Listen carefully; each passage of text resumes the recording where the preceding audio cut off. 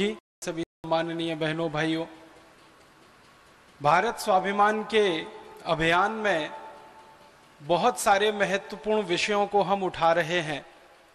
ऐसा ही एक बहुत महत्वपूर्ण विषय हमारे लिए और सारी दुनिया के लिए है। ग्लोबल वार्मिंग, वैश्विक गर्मी, सारी दुनिया में बढ़ने वाली गर्मी। आप आजकल अगर समाचार पत्र पढ़ते हो टेलीविज़न पे खबरें देखते हों तो अक्सर आपने ये शब्द सुना होगा कि सारी दुनिया में अभी गर्मी बढ़ रही है। धीरे धीरे दुनिया और ज़्यादा गर्म हो रही है। आज से लगभग 100 वर्ष पहले दुनिया का जो औसतन तापमान होता था, उसमें लगभग दो डिग्री सेंटीग्रेड की वृद्धि हो गई है। हमारे और हमारे भारत के और दुनिया के बहुत सारे वैज्ञानिक जो इस विषय पर काम कर रहे हैं, उनका ऐसा मानना है कि अगर इसी रफ्तार से दुनिया चलती रही तो अगले 20 से 25 वर्षों में और अधिक से अधिक सन 2050 तक आते आते सारी दुनिया की गर्मी और ज़्यादा लगभग चार डिग्री सेंटीग्रेड तक बढ़ जाएगी। और अगर ये गर्मी बढ़ गई सारी दुनिया में तो वैज्ञानिकों का यह कहना है कि उत्तरी ध्रुव पर जो बर्फ़ जमा है, वो बर्फ़ बहुत तेज़ी से पिघलना शुरू हो जाएगी। हमारे भारत देश में जो हिमालय में ग्लेशियर हैं, ये ग्लेशियर पिघलना शुरू हो जाएँगे।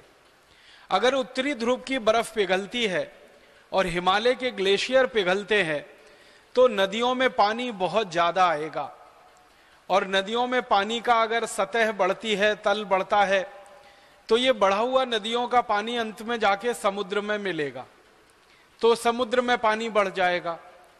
और कहा यह जा रहा है कि समुद्र के पानी में थोड़ी सी बढ़ोतरी अगर हो गई, मामूली सी बढ़ोतरी अगर हो गई, समुद्र के पानी में आप कल्पना करिए, लगभग छह सात इंच की वृद्धि अगर हो जाए, वैज्ञानिक तो अनुमान कर रहे हैं कि 12 से 14 इंच की वृद्धि हो सकती है लेकिन अगर 6 से 7 इंच के समुद्र के पानी के सतह में वृद्धि हो गई तो आपको बहुत दुख होगा ये जानकर कि दुनिया के बहुत सारे देश उसमें डूब जाएँगे। और दुनिया के देश जो डूबेंगे, उनमें भारत का भी बहुत बड़ा इलाका है जो समुद्र में डूब सकता है। हमारे भारत में आपको मालूम है कि समुद्र के किनारे लगभग दो लाख गाँव हैं, संपूर्ण भारत देश में। कर्नाटक में एक बहुत बड़ा इलाका है जो समुद्र के किनारे है। आंध्र प्रदेश का एक बहुत बड़ा क्षेत्र है जो समुद्र के किनारे है। तमिलनाडु का एक बहुत बड़ा क्षेत्र है, समुद्र के किनारे है। केरल का बहुत बड़ा क्षेत्र है, समुद्र के किनारे है। बंगाल का बहुत बड़ा क्षेत्र है, समुद्र के किनारे है। उड़ीसा का बहुत बड़ा क्षेत्र है, समुद्र के किनारे है। भारत में ऐसे लगभग 12 राज्य हैं जिनका कोई ना कोई इलाका समुद्र से लगता है। और अगर समुद्र के तल में पाँच छह इंच से लेकर 12 से 14 इंच की वृद्धि हो गई तो भारत के लाखों लाखों गाँव का अस्तित्व खत्म हो सकता है। हमारे देश का जो गोवा है, जो सबसे खूबसूरत राज्यों में गिनती किया जाता है, ये गोवा पूरा समुद्र में डूब सकता है। मुंबई का इलाका पूरा समुद्र में डूब सकता है। केरल का आधे से ज़्यादा इलाका समुद्र में डूब सकता है। आंध्र प्रदेश का इलाका समुद्र में डूब सकता है, आधे से ज़्यादा। उड़ीसा, बंगाल, कर्नाटक, कई राज्यों का काफ़ी इलाका समुद्र में डूब सकता है।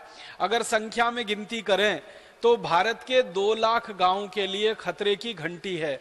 भारत के दो लाख गाँव के अस्तित्व के लिए बहुत बड़ा प्रश्न खड़ा होता है। और ये भारत ही नहीं, दुनिया के कई देशों के लिए खतरे की घंटी है। आपको सुनकर ताज्जुब होगा, हैरानी होगी कि दुनिया में कुछ देश तो ऐसे हैं जो पहले से ही समुद्र के सतह से नीचे बसे हुए हैं और वहाँ तो ये खतरा सबसे ज़्यादा है। एक छोटा सा देश है यूरोप में, उसका नाम है नीदरलैंड, हॉलैंड। ये देश तो समुद्र के नीचे बसा हुआ देश है। ज़्यादातर स्थानों पर आप जब जाते हैं ना तो वहाँ लिखा रहता है कि ये समुद्र के तल से इतना फिट ऊपर है, ये समुद्र के तल से इतना मीटर ऊपर है। हॉलैंड में जब जाते हैं तो वहाँ लिखा रहता है कि ये समुद्र के तल से इतना फिट नीचे है, या समुद्र के तल से इतना मीटर नीचे है। तो हॉलैंड जैसे देश जो पहले से ही समुद्र तल के नीचे हैं, उनके अस्तित्व को तो और भी बड़ा खतरा है। अगर ये दुनिया में गर्मी बढ़ती जाए और इस बढ़ती हुई गर्मी से बर्फ़ पिघलना शुरू हो जाए, उत्तरी ध्रुवों की बर्फ़ पिघल जाए, भारत के हिमालय क्षेत्र की बर्फ़ पिघल जाए तो लाखों गाँवों के लिए, हज़ारों शहरों के लिए खतरा है। और ये गाँव और शहरों के लिए खतरा है, उसके साथ साथ मनुष्य जीवन के लिए खतरा है। आप बोलेंगे, वो कैसे? जब गर्मी बढ़ती है तो पूरे वातावरण का जो मौसम का चक्र है ना, वो बदल जाता है। सबसे बड़ा बदलाव क्या आता है कि मौसम के चक्र में जितनी गर्मी होनी चाहिए, उसी के अनुसार बारिश होती है। जितनी बारिश होनी चाहिए, उसी के अनुसार सर्दी होती है। और जितनी सर्दी होनी चाहिए, उसके अनुसार फिर गर्मी होती है। और फिर जितनी गर्मी होनी चाहिए, उसके अनुसार बारिश होती है। माने गर्मी, सर्दी, बारिश, ये सब एक दूसरे के साथ आंतरिक रूप से बहुत गहराई से जुड़े हुए हैं। थोड़ी गर्मी बढ़े तो बारिश कम ज़्यादा होती है। थोड़ी गर्मी बढ़े तो सर्दी भी कम ज़्यादा होती है। अब बारिश कम ज़्यादा हो जाए तो हमारे देश के कृषि उत्पादन पर बहुत बुरा असर पड़ता है। इसी तरह से सर्दी कम ज़्यादा हो जाए तो कृषि उत्पादन पर बहुत बुरा असर पड़ता है। मैं एक छोटे से उदाहरण से आपको यह समझाता हूँ। सर्दियों का सत्र शुरू हो गया है। ये सर्दियों का सत्र थोड़े दिन चलेगा, लगभग तीन से चार महीने। अगर इसमें सर्दी आधा डिग्री सेंटीग्रेड भी कम हो जाए, जितनी ज़रूरत है अगर उतनी सर्दी ना हो तो आपको सुनकर हैरानी होगी कि गेहूँ की फ़सल नहीं आएगी। गेहूँ जो पकता है हमारे देश में दाने के रूप में, वो पकेगा नहीं। फ़सल पूरी नहीं आएगी। गेहूँ का उत्पादन बहुत कम हो जाएगा। इसी तरह से उल्टा है।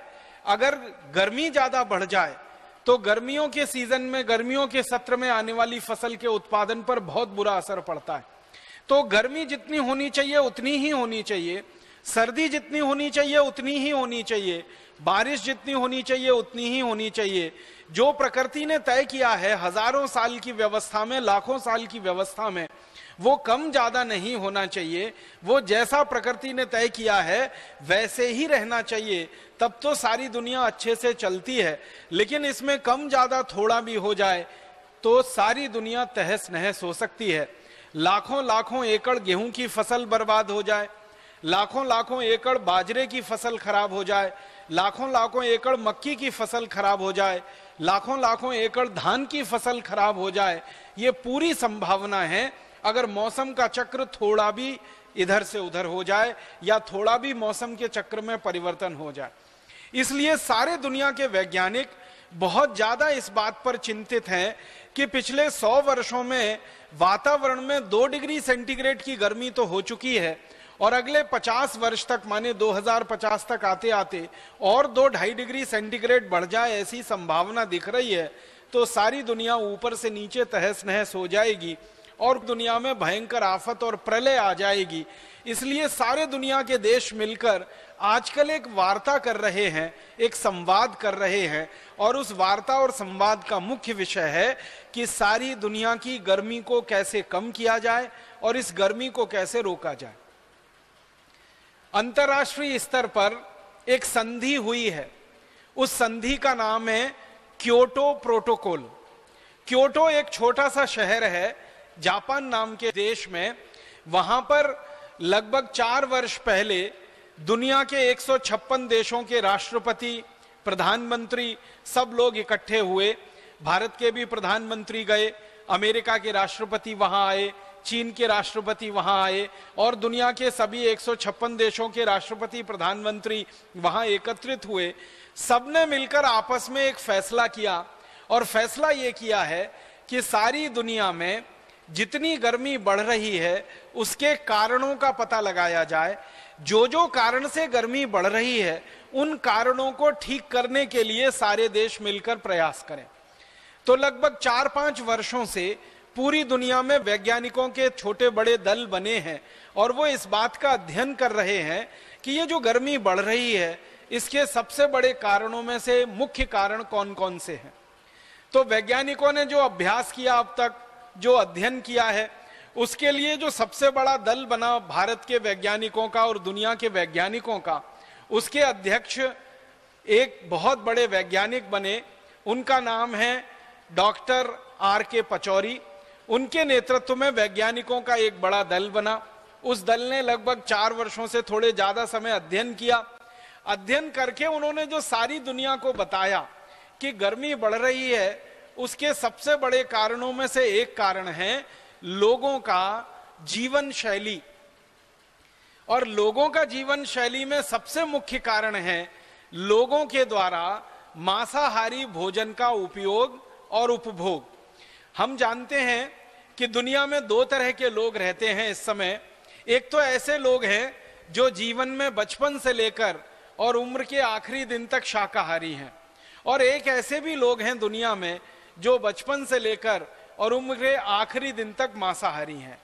तो भारत के और दुनिया के वैज्ञानिकों ने जो अध्ययन किया तो पाया कि जो लोगों की जीवन शैली में मांस खाना बहुत ज़्यादा है, जो बहुत ज़्यादा मांस का उपयोग करते हैं जो बहुत ज़्यादा मांस का उपभोग करते हैं उनके कारण दुनिया में सबसे ज़्यादा गर्मी बढ़ रही है।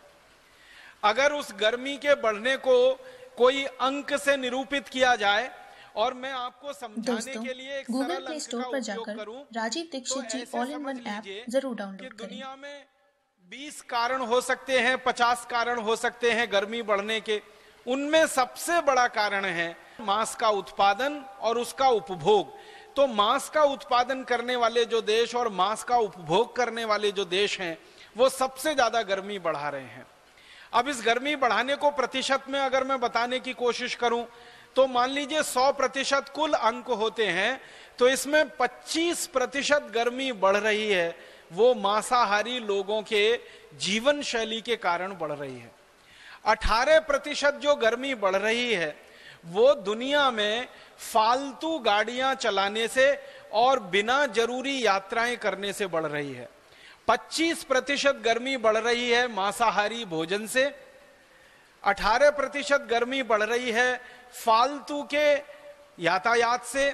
और बची हुई जो गर्मी बढ़ रही है, वो बची हुई गर्मी बढ़ रही है प्रदूषण से और औद्योगिक उत्पादन के द्वारा और सेवाओं के द्वारा और थोड़ा बहुत हिस्सा उसमें खेती और जानवरों के द्वारा। तो कुल मिलाकर गर्मी बढ़ने के इतने सारे कारण हैं। औद्योगिक कारणों में लगभग 18-20 कारण हैं। उनके ज़्यादा विस्तार में नहीं जाना चाहता, समय चला जाएगा। तो औद्योगिक उत्पादन को सारी दुनिया में कहा गया कि एक उत्पादन ऐसा जो बहुत ज़रूरी है लोगों के जीवन को चलाने के लिए, जो आवश्यक उत्पादन है। और एक उत्पादन ऐसा जो बिल्कुल ज़रूरी नहीं है लोगों के जीवन को बिना उस उत्पादन के भी चलाया जा सकता है।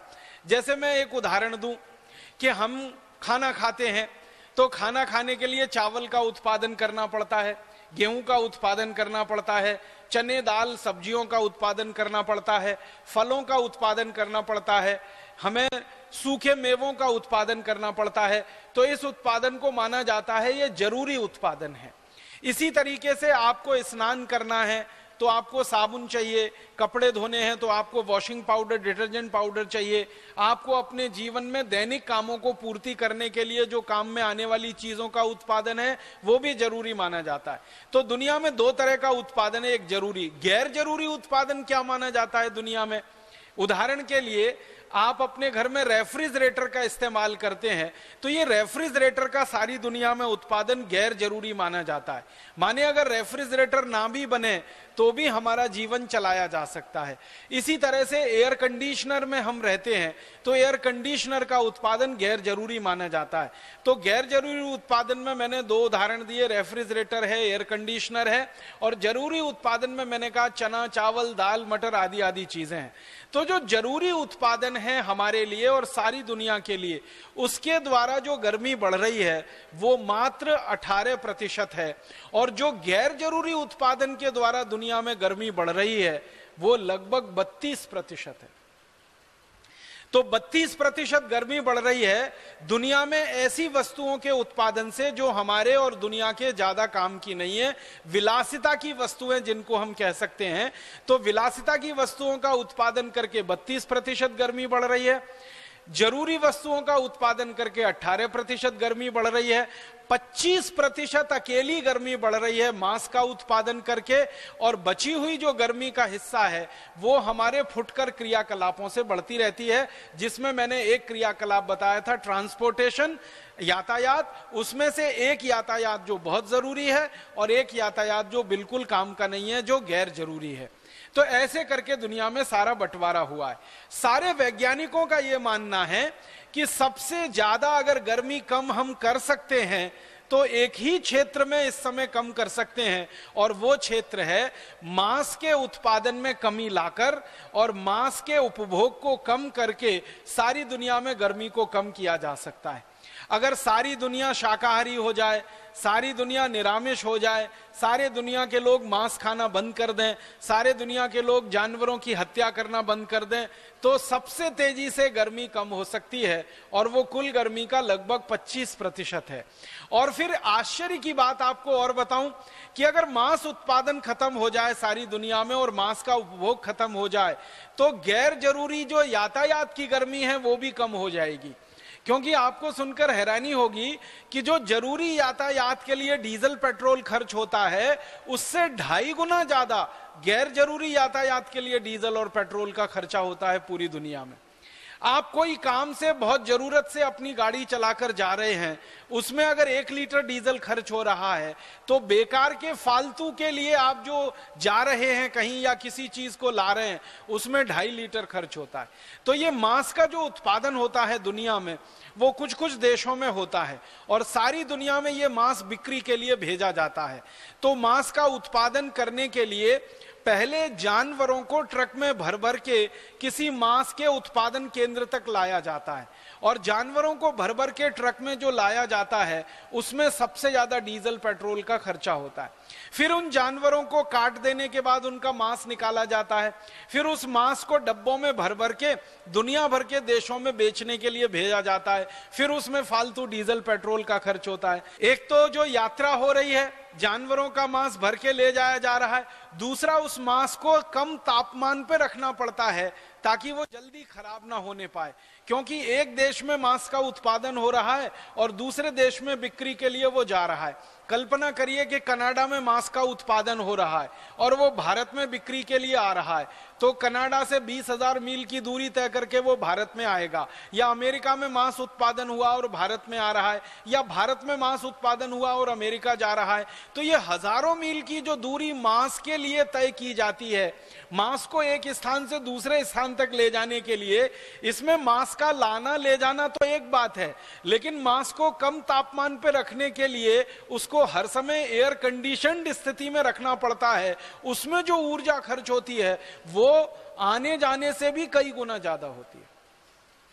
तो वैज्ञानिकों का ये कहना है, सारी दुनिया में, भारत के ही वैज्ञानिक नहीं, सारे दुनिया के वैज्ञानिक अब इस बात पर सहमत हो रहे हैं कि अगर सारी दुनिया के लोग अपनी जीवन शैली को बदल दें, मांस खाना बंद कर दें, मांस का उपभोग बंद कर दें तो सारी दुनिया की गर्मी 25 प्रतिशत कम हो जाएगी और फालतू जो ट्रांसपोर्टेशन का खर्चा पूरी दुनिया में हो रहा है और उसके कारण जो बत्तीस प्रतिशत गर्मी फालतू में बढ़ रही है, वो भी कम हो जाएगी।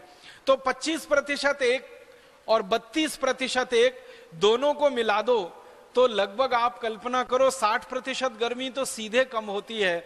अगर सारी दुनिया के लोग मांस खाना बंद कर दें और मांसाहारी भोजन का उपभोग करना बंद कर दें।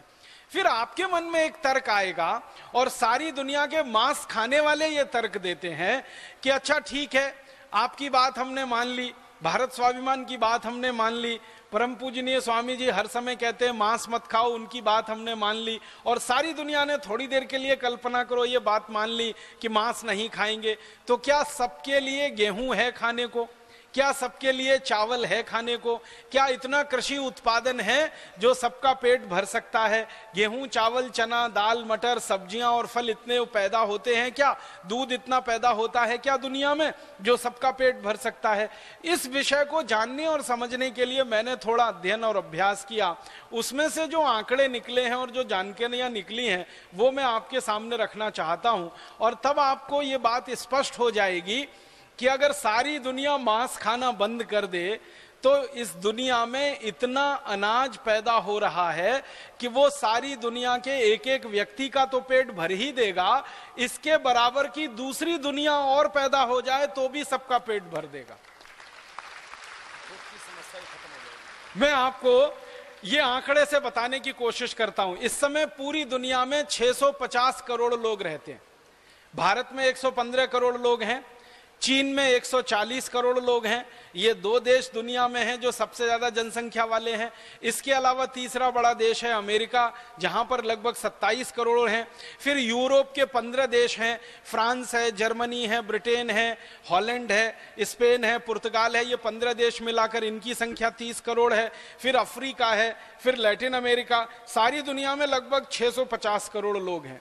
अभी जितना भोजन माने गेहूँ, चावल, चना, दाल, मटर, सब्ज़ियाँ, फल आदि पूरी दुनिया में जो पैदा होता है 650 करोड़ लोगों के लिए तो पर्याप्त है ही।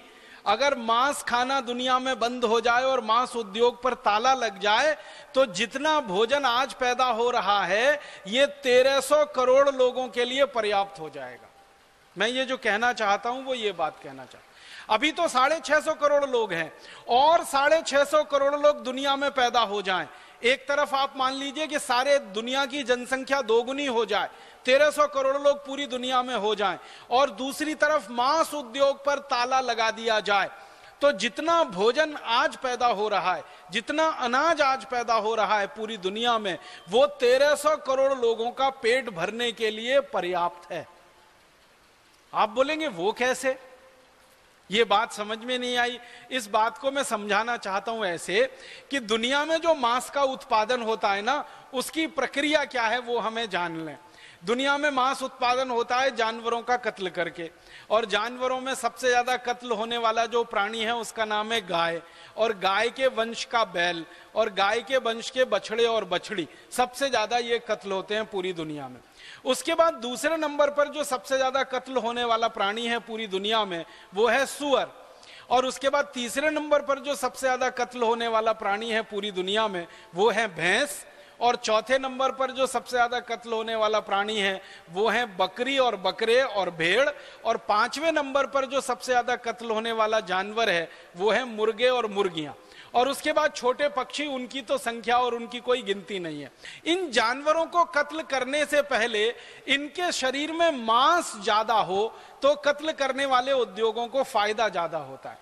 तो जानवरों के शरीर में मांस बढ़ाने के लिए वो जानवरों को अनाज खिलाते गेहूँ खिलाते हैं गेहूँ के अलावा चावल और चना आदि खिलाते हैं और मकई खिलाते हैं, बाजरी खिलाते हैं तो इन जानवरों को भोजन खिलाया जाता है। ये जानवर सभी प्रकृति से जो है ना, घास खाने वाले हैं।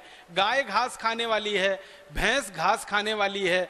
इसी तरह से सुअर जो है ना, मनुष्य का मल और दूसरी चीज़ें खाने वाला है। इसी तरह से बकरी और बकरे पूरी तरह से शाकाहारी जीव है और ये मुर्गा मुर्गी भी ज़्यादातर ऐसी चीज़ें ही खाते हैं।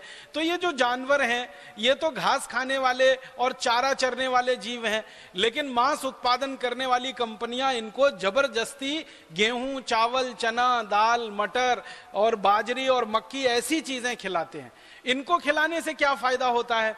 ये अगर गेहूँ खिलाया जाए जानवरों को, सोयाबीन खिलाया जाए जानवरों को, और बाजरी, मक्की आदि खिलाई जाए जानवरों को तो वो बहुत जल्दी मोटे होने लगते हैं। बहुत जल्दी उनके शरीर में चर्बी बढ़ने लगती है, बहुत जल्दी उनके शरीर में फैट बढ़ने लगता है और बहुत जल्दी उनका शरीर भारी होने लगता है। और जानवरों को काटकर बेचने वाले जो लोग हैं, उनके लिए तो सबसे अच्छा यही है कि जो जानवर जितना ज़्यादा भारी होगा, जितना ज़्यादा वज़न होगा, उसमें मांस उतना ज़्यादा ही निकलेगा, बिक्री होगी तो उसमें मुनाफा उतना ही ज़्यादा होगा। तो मांस उत्पादन करने वाली कंपनियाँ जानवरों को वो भोजन कराती हैं, जो भोजन मनुष्य के लिए है। अब वो मनुष्य का भोजन जब जानवरों को करा दिया जाता है तो मनुष्य के हिस्से में भोजन कम पड़ना शुरू हो जाता है और वही भोजन की कमी हज़ारों, लाखों, करोड़ों लोगों को भूख से मार देती है। अब मैं थोड़े आंकड़ों की बात करता हूँ। सारी दुनिया के जानवरों को गेहूँ है गेहूँ से बनने वाली चीज़ें हैं, मक्की है, मक्की से बनने वाली चीज़ें हैं, बाजरी और बाजरी से बनने वाली चीज़ें हैं, सोयाबीन और सोयाबीन से बनने वाली चीज़ें हैं तो जानवरों को कृषि उत्पन्न जो अनाज खिलाया जाता है, वो कुल अनाज का लगभग 40 प्रतिशत है भारत जैसे देशों में और 70 प्रतिशत है अमेरिका जैसे देशों में। यह भारत और अमेरिका की दो अलग अलग श्रेणियाँ मैंने बनाई हैं। भारत का मतलब है दुनिया के गरीब देश। जैसे भारत एक देश है, इंडोनेशिया है, मलेशिया है, पाकिस्तान है, बांग्लादेश है तो भारत जैसे दुनिया में एक सौ छियासी देश हैं जिनको गरीब देश कहा जाता है। आजकल अंग्रेज़ी भाषा में एक शब्द विकसित हुआ है इन देशों के लिए डेवलपिंग कंट्रीज़ विकासशील देश। या विकसनशील देश। तो भारत और भारत जैसे गरीब देश है, आप समझ लीजिए, विकासशील देश। तो एक सौ छियासी देश हैं भारत जैसे। इन सभी देशों में मांस उत्पादन के लिए कुल कृषि उत्पन्न का 40 प्रतिशत जानवरों को खिलाया जाता है। अब दूसरी तरफ़ अमेरिका है। अमेरिका है, जर्मनी है, फ्रांस है, ब्रिटेन है, कनाडा है। और यूरोप के कई सारे देश हैं। इन देशों में कुल कृषि उत्पादन का लगभग 70 प्रतिशत जानवरों को खिला दिया जाता है। आप सोचिए, अमेरिका में कुल जितना गेहूँ पैदा होता है, उस पैदा हुए गेहूँ का 70 प्रतिशत जानवरों को खिलाया जाता है। क्यों खिलाते हैं? अमेरिका के जानवर गेहूँ खाकर अमेरिका के जानवर सोयाबीन खाकर या कृषि उत्पन्न खाकर जल्दी से मोटे हो जाएँ, जल्दी से उनके शरीर में मांस बढ़ जाए ज़्यादा मांस हो जाए ज़्यादा मोटे हो जाएँ और उनको फिर काटकर उनका मांस दुनिया में बेचकर अमेरिका की मांस बेचने वाली कंपनियाँ ज़्यादा मुनाफा कमाएँ। तो आप सोचिए, जो अमीर देश हैं, उनके कृषि उत्पादन का 70 प्रतिशत जानवर खा जाते हैं। जो गरीब देश हैं, वहाँ मांस उत्पादन के लिए कुल उत्पादन का 40 प्रतिशत खिला दिया जाता है जानवरों को। अगर औसत निकाला जाए 70 और 40 को जोड़ दिया जाए 110 और इसका औसत निकाला जाए तो 55 माने दुनिया में औसतन आधा अनाज जानवरों को खिलाकर उनको मोटा बनाकर फिर उनका मांस कुछ लोग खाते हैं। अगर इस तर्क को सीधा सा समझने की कोशिश करें कि आधे से ज़्यादा अनाज पहले हम जानवरों को खिलाएँ, उनको मोटा बनाएँ, फिर उनका मांस हम खाएँ, इससे अच्छा सीधा सीधा ये है कि वो आधा अनाज सीधे ही हम खा जाएँ। तो जितनी जनसंख्या की आज पूर्ति हो रही है, उससे दोगुनी जनसंख्या की पूर्ति ऐसे ही हो जाए। तो आप बोलेंगे, जी, जानवर के लिए कहाँ से आएगा? प्रकृति ने, भगवान ने, परमात्मा ने ऐसी सुंदर व्यवस्था की है कि जहाँ से आपके लिए भोजन आता है, वहीं जानवरों के लिए भी पैदा हो जाता है। उसके लिए अतिरिक्त प्रयास नहीं करना पड़ता। अगर आप खेती करते हैं, किसान है तो आपको मालूम है, हम गेहूँ पैदा करते हैं तो गेहूँ का ऊपर वाला हिस्सा तो हमारे काम आ जाता है खाने के लिए, और नीचे का पूरा हिस्सा किसी गाय, बैल, भैंस के काम आ जाता है खाने के लिए। तो अतिरिक्त कुछ पैदा नहीं करना पड़ता, जानवर जानवर के लिए, माने मनुष्य के लिए जो कुछ पैदा हो रहा है, उसी से जानवर की पूर्ति होती है। हम मक्की का उत्पादन करते हैं, हम बाजरी का उत्पादन करते हैं तो मक्की और बाजरी के ऊपर का जो हिस्सा है बाल वाला जो लगभग एक फिट का होता है, वो तो हमारे काम आ जाएगा। और बचा हुआ नीचे का छह सात फिट का जो हिस्सा है, वो तो किसी जानवर के ही काम आने वाला है। तो प्रकृति और परमात्मा ने तो व्यवस्था ऐसी की है कि मनुष्य के लिए कुल उत्पादन जितना चाहिए, उससे छह सात गुना ज़्यादा उत्पादन चारे और घास का जानवरों के लिए हो ही जाता है। उसके लिए कोई अतिरिक्त प्रयास नहीं करना पड़ता। इसलिए जानवरों की हमें यह चिंता छोड़ देनी पड़ेगी कि अगर हम उनको अनाज नहीं खिला खिलाएँगे तो उनका पेट कहाँ से भरेगा? उनका पेट भरने के लिए तो प्रकृति और परमात्मा ने व्यवस्था की हुई है। आप उसकी चिंता मत करिए। आप तो सिर्फ़ इतनी चिंता करिए कि अपने पेट में ये जानवरों को काट काट कर डालना बंद कर दीजिए। इनका मांस खाना बंद कर दीजिए। सारी दुनिया की व्यवस्था तो बहुत सुंदर और बहुत अच्छे से है। मैं थोड़ी सी और बात समझाने के लिए कुछ आपके सामने आंकड़े रखना चाहता हूँ। सारी दुनिया में इस समय मांस का जो कुल उत्पादन होता है पूरी दुनिया में 200 देश हैं कुल मिलाकर, भारत सहित, अमेरिका सहित, कनाडा, जर्मनी जैसे तो पूरी दुनिया के 200 देशों में कुल मांस का एक साल में उत्पादन होता है 28 करोड़ 50 लाख मीट्रिक टन। एक मीट्रिक टन में लगभग एक हज़ार किलोग्राम होते हैं। तो 28 करोड़ 50 लाख मीट्रिक टन मांस का उत्पादन पूरी दुनिया में होता है। इस पूरे के पूरे मांस के उत्पादन को मांस पैदा करने वाली कंपनियाँ बोल रही हैं कि 2050 तक हम इसको 46 करोड़ 50 लाख मीट्रिक टन कर देंगे उस उत्पादन को। मतलब जो उत्पादन आज हो रहा है, उसका लगभग दोगुना वो कर देंगे 2050 तक। इसका मतलब सीधा सा ये है कि मांस उत्पादन करने वाली कंपनियाँ पूरी दुनिया में ताकत से लगी हुई हैं कि मांस का उत्पादन बढ़े। और ये मांस का उत्पादन तभी बढ़ेगा जब मांस का उपभोग बढ़े, मांस का उपयोग बढ़े, मांस का ज़्यादा से ज़्यादा लोग उपयोग करें। तो मांस पैदा करने वाली कंपनियाँ पूरी दुनिया को मांसाहारी बनाने के काम में लग गई हैं। और उसके लिए उन्होंने कई तरह के तर्क और कुतर्क विकसित कर लिए हैं। और रात दिन वो प्रचार कर रही हैं, उनके विज्ञापन रोज टीवी पर आ रहे हैं। भारत में भी आपने देखा है ना, ये मांस उत्पादन करने वाली कंपनियों का ही विज्ञापन है, संडे हो या मंडे, कभी भी खाओ अंडे। आपने देखा होगा। और हमारे देश में मुझे बहुत शर्म आती है, अफसोस होता है कि कई सिनेमा में काम करने वाले एक्टर एक्ट्रेसेस जो निजी ज़िंदगी में शाकाहारी हैं, वो पैसे के लालच में अंडों का विज्ञापन करते हैं। और हमारे देश के कुछ खिलाड़ी भी हैं क्रिकेट खेलने वाले खिलाड़ी हैं, अन्य खेल खेलने वाले खिलाड़ी हैं, और हमारे देश के और भी कई ऐसे अच्छे लोग जिनको माना जाता है मीडिया में, वो भी लग गए हैं। तो पूरी दुनिया में मांस का उपभोग बढ़े, और मांस का उपयोग बढ़े, इसके लिए कंपनियाँ करोड़ों करोड़ों रुपए विज्ञापन पे खर्च कर रही हैं। तो अभी 28 करोड़ 50 लाख टन मांस उत्पादन होता है। 2050 तक उम्मीद है कि ये 46 करोड़ टन होगा। अगर वो सफल हो गए तो और दूसरी तरफ़ यह भी संभावना है कि अगर हम सफल हो गए भारत स्वाभिमान अभियान सफल हो गया और सारी दुनिया में हमारे जैसे विचार के लोग सफल हो गए। तो आने वाले सन 2050 में पूरी दुनिया में मांस का उपभोग ज़ीरो होगा, शून्य होगा, ज़ीरो प्रतिशत होगा। माने ये जो 28 करोड़ 50 लाख टन आज हो रहा है, ये 2050 तक आते आते खत्म ही हो जाएगा, बंदी हो जाएगा। अगर हमारे जैसे लोग सफल हो गए और अपनी विचारधारा के लोग सारी दुनिया में बढ़ गए। तो ये लड़ाई अब देवासुर संग्राम की लड़ाई है। एक तरफ़ असुर लोग हैं जो मांस पैदा कर रहे हैं, मांस खा रहे हैं और मांस खिला रहे हैं। और एक तरफ़ आपके जैसे देव लोग हैं, देवता लोग हैं, जो मांसाहारी जीवन शैली के खिलाफ सारी दुनिया को शाकाहारी बना रहे हैं और इस अभियान को बढ़ा रहे हैं। योग और प्राणायाम के माध्यम से और कोई कोई दूसरे लोग मेडिटेशन के माध्यम से अलग अलग माध्यमों से ये काम चल रहा है। युद्ध सारी दुनिया में इस समय शुरू हो चुका है।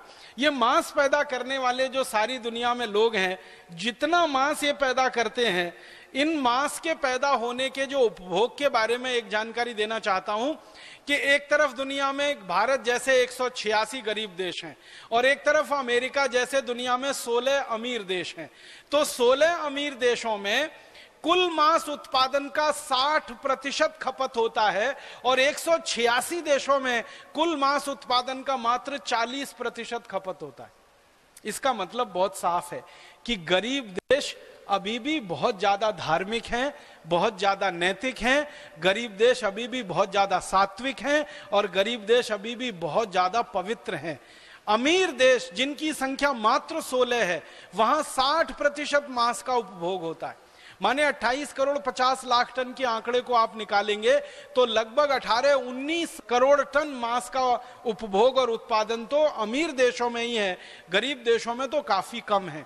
इसका मतलब गरीब देशों में अभी भी शाकाहारी लोग ज़्यादा हैं, सामिश लोग अमीर देशों में ज़्यादा हैं। मैं इसको थोड़ा और आगे बात करूँ। ये अमीर देशों में और सारी दुनिया में जो मांस का उपभोग और उत्पादन है, इसमें मुर्गे मुर्गियों का जो उत्पादन है मुर्गे मुर्गियों के मांस का वो करीब नौ करोड़ टन है, सुअर के मांस का उत्पादन करीब दस करोड़ टन है, गाय के मांस का उत्पादन छह करोड़ सत्तर लाख टन है। अब इतना मांस जो पूरी दुनिया में पैदा हो रहा है, अट्ठाईस करोड़ पचास लाख मीट्रिक टन, इस मांस के उत्पादन के लिए हर साल पूरी दुनिया में छप्पन अरब जानवरों का कत्ल होता है। छप्पन अरब जानवरों का माने पाँच हज़ार छह सौ करोड़ जानवरों का कत्ल होता है। और ये बड़े जानवर हैं। बड़े जानवर का माने गाय है, बैल है, भैंस है, ये बड़े जानवर हैं। बकरे हैं, बकरियाँ हैं। मुर्गे हैं, मुर्गियाँ हैं। वहाँ तक तो गिनती होती है, सुअर भी इसमें है। उसके नीचे जो छोटे पक्षियों की गिनती है, वो अंदाज़ा लगाया जाता है, उनको गिनना बहुत मुश्किल हो जाता है। तो 5,600 करोड़ निर्दोष जानवरों को मूक जानवरों को जिन्होंने दुनिया में कभी किसी का अहित नहीं किया किसी का नुकसान नहीं किया ऐसे जानवरों को काट दिया जाता है 28 करोड़ 50 लाख मीट्रिक टन मांस पैदा करने के लिए। इस मांस के उत्पादन में भारत की क्या स्थिति है उसके बारे में भी मैं बताना चाहता हूँ। भारत में हर साल मात्र अट्ठावन लाख मीट्रिक टन मांस का उत्पादन होता है। पूरी दुनिया में 28 करोड़ 50 लाख मीट्रिक टन उत्पादन है मांस का। भारत में मात्र अट्ठावन लाख मीट्रिक टन मांस का उत्पादन है। माने पूरी दुनिया के अगर प्रतिशत में निकाला जाए तो पूरी दुनिया के मांस के उत्पादन का 10 प्रतिशत निकलेगा तो करीब दो करोड़ अस्सी लाख निकलेगा। पाँच प्रतिशत निकलेगा तो करीब एक करोड़ चालीस लाख निकलेगा। ढाई प्रतिशत के आसपास भारत में मांस का उत्पादन है। पूरी दुनिया के कुल मांस के उत्पादन में भारत की स्थिति दो दशमलव पाँच प्रतिशत उत्पादन की ही है। माने अगर दुनिया के हिसाब से आंकड़ों में बात की जाए तो भारत में मांस का उत्पादन अभी काफ़ी कम है। माने भारत में मांस खाने वाले लोग काफ़ी कम है। माने भारत में सबसे ज़्यादा संभावना है सभी लोगों के जल्दी से जल्दी शाकाहारी हो जाने की। भारत में जनसंख्या के प्रतिशत के अनुसार मैं बात करूँ तो भारत में अगर मान ले 115 करोड़ नागरिक रहते हैं तो आंकड़ों के अनुसार इनमें लगभग 70 प्रतिशत नागरिक हैं जो शाकाहारी हैं, जो पूरी तरह से शाकाहार पर जीवन जीते हैं अपना, और 30 प्रतिशत भारतवासी हैं जो मांसाहारी हैं, जो मांस खा के अपना जीवन बिताते हैं। भारत में मांस के उत्पादन में गाय का मांस 14 लाख टन पैदा होता है। भैंस का मांस करीब चौदह लाख टन पैदा होता है, मटन करीब ढाई लाख टन पैदा होता है, बकरे बकरी का मांस करीब साढ़े चार लाख टन है, सुअर का मांस छह लाख तीस हज़ार टन है, मुर्गे मुर्गी का मांस सोलह लाख टन है। और इस पूरे मांस को पैदा करने के लिए भारत सरकार के पिछले साल के आंकड़े हैं 2008 के, कि ये भारत में अट्ठावन लाख मीट्रिक टन मांस पैदा करने के लिए 10 करोड़ 50 लाख जानवरों का पिछले साल कत्ल किया गया। और ये 10 करोड़ 50 लाख जानवरों का जो कत्ल हमारे देश में किया गया इनमें लगभग साढ़े चार करोड़ जानवर हैं जो गाय बैल भैंस की कैटेगरी के हैं माने बड़े जानवर हैं और बचे हुए सारे छोटे जानवर हैं बकरे बकरी मुर्गे मुर्गियाँ आदि आदि। तो भारत देश में लगभग 3,600 तो सरकार के रजिस्टर्ड कत्ल खाने हैं और करीब छत्तीस हज़ार अनरजिस्टर्ड कतल खाने हैं। इनके द्वारा कुल मिलाकर ये 10 करोड़ जानवर हर साल काटे जा रहे हैं और उसमें से अट्ठावन लाख मीट्रिक टन मांस पैदा हो रहा है। ये भारत की स्थिति है।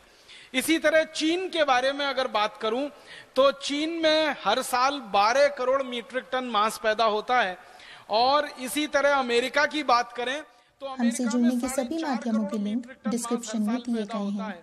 यूरोप की बात करें तो यूरोप में हर साल करीब तीन दशमलव छह करोड़ मीट्रिक टन का है और दूसरे दूसरे देशों में उससे कुछ कम है। अब ये जो मांस उत्पादन हो रहा है सारी की सारी दुनिया में, भारत सहित, इस मांस उत्पादन में चार पाँच नुकसान सबसे बड़े हो रहे हैं।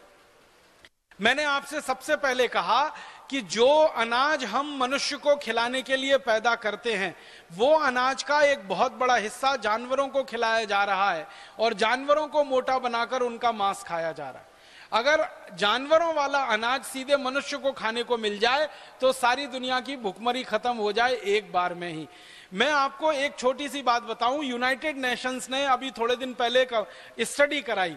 संयुक्त राष्ट्र ने एक अध्ययन कराया कि भारत में और दुनिया में हर दिन चालीस हज़ार लोग, जिनमें बच्चे भी शामिल है, बिना दूध और बिना रोटी के मरते हैं। चालीस हज़ार लोग हर दिन मरते हैं, भूख से मरते हैं। और सारी दुनिया में लगभग 200 करोड़ लोगों को भूखमरी की हालत है। पूरी दुनिया की लगभग एक तिहाई आबादी भूखमरी के कगार पर है।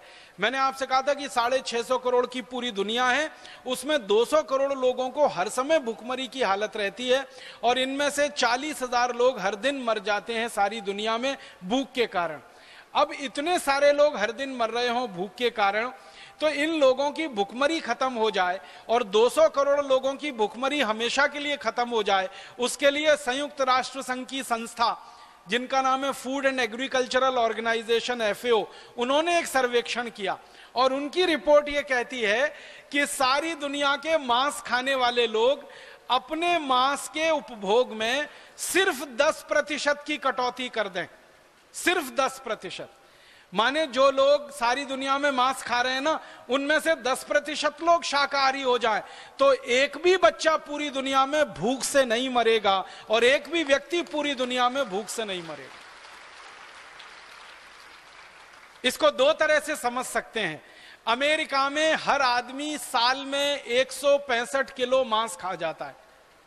चीन में हर आदमी साल में पंचानवे किलो मांस खा जाता है। यूरोप में हर आदमी साल में लगभग 130 किलो मांस खा जाता है, यूरोप और कनाडा मिला के तो कनाडा और यूरोप में 130 किलो मांस आदमी साल में खा जाता है, अमेरिका में एक सौ पैंसठ किलो खा जाता है, चीन में करीब करीब पंचानवे किलो मांस हर आदमी साल में खा जाता है। भारत में हर आदमी साल में जो मांसाहारी है, साढ़े तीन किलो मांस खा जाता है। तो भारत की गिनती अगर अमेरिका, चीन और यूरोप की तुलना में करें तो बहुत नीचे आती है मांस खाने वालों में। फिर भी भारत के लोग अगर 10 प्रतिशत मांस कम खाएँ, या भारत में 10 प्रतिशत लोग शाकाहारी हो जाएँ, अमेरिका में हर आदमी जो एक सौ पैंसठ किलो मांस साल का खा रहा है, वो अगर एक सौ पैंसठ किलो मांस को 150 किलो कर दे साल में खाना, या कनाडा का आदमी 120 किलो कर दे, या 115 किलो कर दे, और चीन का आदमी 80 किलो कर दे, अपने अपने मांस में 10 प्रतिशत की कटौती कर दें अगर वो खाने में तो दुनिया के 200 करोड़ लोगों का हमेशा के लिए पेट भरा जा सकता है। और चालीस हज़ार बच्चे जो रोज भूखे मर रहे हैं और बड़े लोग भी उनके साथ मर रहे हैं, उनकी ज़िंदगी में कभी भूखमरी से मौत नहीं हो सकती है। मतलब सीधा सा ये है कि मांसाहारी जीवन अगर छोड़ते हैं तो दुनिया के सारे लोगों को ज़िंदा रहने के लिए रास्ता खुलता है, दुनिया के लोगों का पेट भरता है। ये कितनी बड़ी बात है और ये बात अभी अध्ययन में से निकल कर आई है, जो संयुक्त राष्ट्र की संस्थाओं ने किया है। इसका मतलब बहुत साफ़ है कि दुनिया में जो लोगों को सेवा करनी है और लोगों का पेट भरना है, लोगों का जीवन अच्छा बनाना है, अगर सब मिलकर पूरी ताकत से एक ही काम में लग जाएँ कि लोगों का मांस छुड़ा दें या लोगों को शाकाहारी बना दें तो इतनी बड़ी सेवा पूरी दुनिया की हो सकती है। शायद ही कोई दूसरी सेवा उसके सामने हो। भूखे को भोजन देना और मरते हुए को जीवन देना, इससे बड़े पुण्य का काम पूरी दुनिया में कोई नहीं होता। भारत के शास्त्रों में और भारत के पुराने ऋषि महर्षियों के द्वारा कई किए गए आप्त वचनों में जो सबसे महत्व की बात है वो ये है, भूखे को भोजन देना, मरते हुए को जीवन देना, इससे बड़ा सेवा का और पुण्य का कोई काम नहीं है। तो अगर दुनिया के भूखे लोगों को भोजन देना है, मरते हुओं को जीवन देना है तो हम सब पूरी दुनिया के लोगों को एक ही काम में ताकत से लग जाना चाहिए, लोगों को शाकाहारी बनाना चाहिए, लोगों का मांस छोड़वाना चाहिए। दुनिया के लोगों को शाकाहारी हो जाने में कितने फ़ायदे हैं? और दुनिया के लोग अगर मांसाहारी बने रहे तो कितने नुकसान हैं? छोटी छोटी कुछ बातें मैं आपको बताना चाहता हूँ। एक बात यह बताना चाहता हूँ कि एक साथ पूरी दुनिया में सबसे ज़्यादा प्रदूषण अगर फैलता है तो मांस खाने वाले लोगों के कारण फैलता है। क्यों? प्रदूषण में जिन जिन चीज़ों को हम गिनते हैं, हवा जहरीली हो रही है पानी जहरीला हो रहा है, हवा में कमी आ रही है, पानी में कमी आ रही है और खेत के लिए काम आने वाली मिट्टी में खराबी आ रही है और जंगल तेज़ी से कट रहे हैं, पूरी दुनिया में पेड़ों की संख्या कम हो रही है, ये सब कारण माने जाते हैं पर्यावरण प्रदूषण। दुनिया में जो जो अध्ययन हो रहे हैं, वैज्ञानिकों के द्वारा वो अध्ययन ये बता रहे हैं कि सारी दुनिया में तेज़ी के साथ जो जंगलों में कटाई हो रही है उस कटाई का सबसे बड़ा कारण है मांस उद्योग का बढ़ते चले जाना। तेज़ी से जंगल खत्म हो रहे हैं, तेज़ी से जंगल कट रहे हैं, वो मांस उद्योग के कारण जंगल कट रहे हैं और जंगल खत्म हो रहे हैं। आप बोलेंगे, वो कैसे हो रहे हैं? मांस उद्योग के द्वारा, मांस का उत्पादन करने के लिए और उत्पादन को पैक करने के लिए और उस पैकिंग को एक जगह से दूसरी जगह भेजने के लिए सबसे ज़्यादा जो कच्चा माल खर्च हो रहा है, वो लकड़ी खर्च हो रही है। आपने देखा है, मांस के जो पैकेट होते हैं, जो डब्बे बनाए जाते हैं, उन डब्बों में जो मटेरियल इस्तेमाल किया जाता है, जिन चीज़ों से वो डब्बे बनाए जाते हैं, उन चीज़ों का सबसे ज़्यादा आने का काम वो जंगल से ही होता है। जंगल में खास किस्म के पेड़ों का कटना, उसके द्वारा खास किस्म के कागज़ का उत्पादन और उस खास किस्म के कागज़ का पैकिंग के लिए उपयोग और उस पैकिंग को एक जगह से दूसरी जगह भेजने के लिए और बड़ी पैकिंग का उपयोग। इसमें सबसे ज़्यादा जंगल कटते हैं। और उन जंगलों के कटने से सारी दुनिया में पर्यावरण का प्रदूषण हो रहा है। वैज्ञानिकों का यह कहना है कि तेज़ी के साथ जंगलों की समाप्ति अगर हमें रोकनी है और जंगलों को बढ़ावा देना है तो ये मांस उद्योग को बंद कर दिया जाए, तभी ये संभव हो पाएगा, अन्यथा वो संभव नहीं हो पाएगा। दूसरा, सारी दुनिया में पानी का सबसे ज़्यादा खर्चा अगर कोई करता है तो ये मांस उद्योग करता है। मैं आपको एक हैरान करने वाले आंकड़े की तरफ़ ध्यान दिलाना चाहता हूँ। एक किलो मांस पैदा करना पड़े और एक किलो गेहूँ पैदा करना पड़े। एक किलो मांस पैदा करना पड़े और एक किलो चावल पैदा करना पड़े। एक किलो दाल पैदा करनी पड़े और एक किलो मांस पैदा करना पड़े। एक किलो मक्की और बाजरा पैदा करना पड़े और एक किलो मांस पैदा करना पड़े। दोनों स्तर पर उपयोग होने वाले पानी में कितना अंतर है ज़मीन आसमान का? आप जानते हैं सबसे ज़्यादा पानी का उपयोग होता है चावल की खेती में। चावल पैदा करने में सबसे ज़्यादा पानी लगता है। उसके बाद दूसरे नंबर पर गन्ने की खेती में सबसे ज़्यादा पानी लगता है। तो गन्ने और चावल की खेती में से अगर एक किलो चावल हम पैदा करें, एक किलो चावल पैदा करने में पाँच हज़ार लीटर पानी खर्च होता है। खराब से खराब ज़मीन की बात कर रहा हूँ मैं।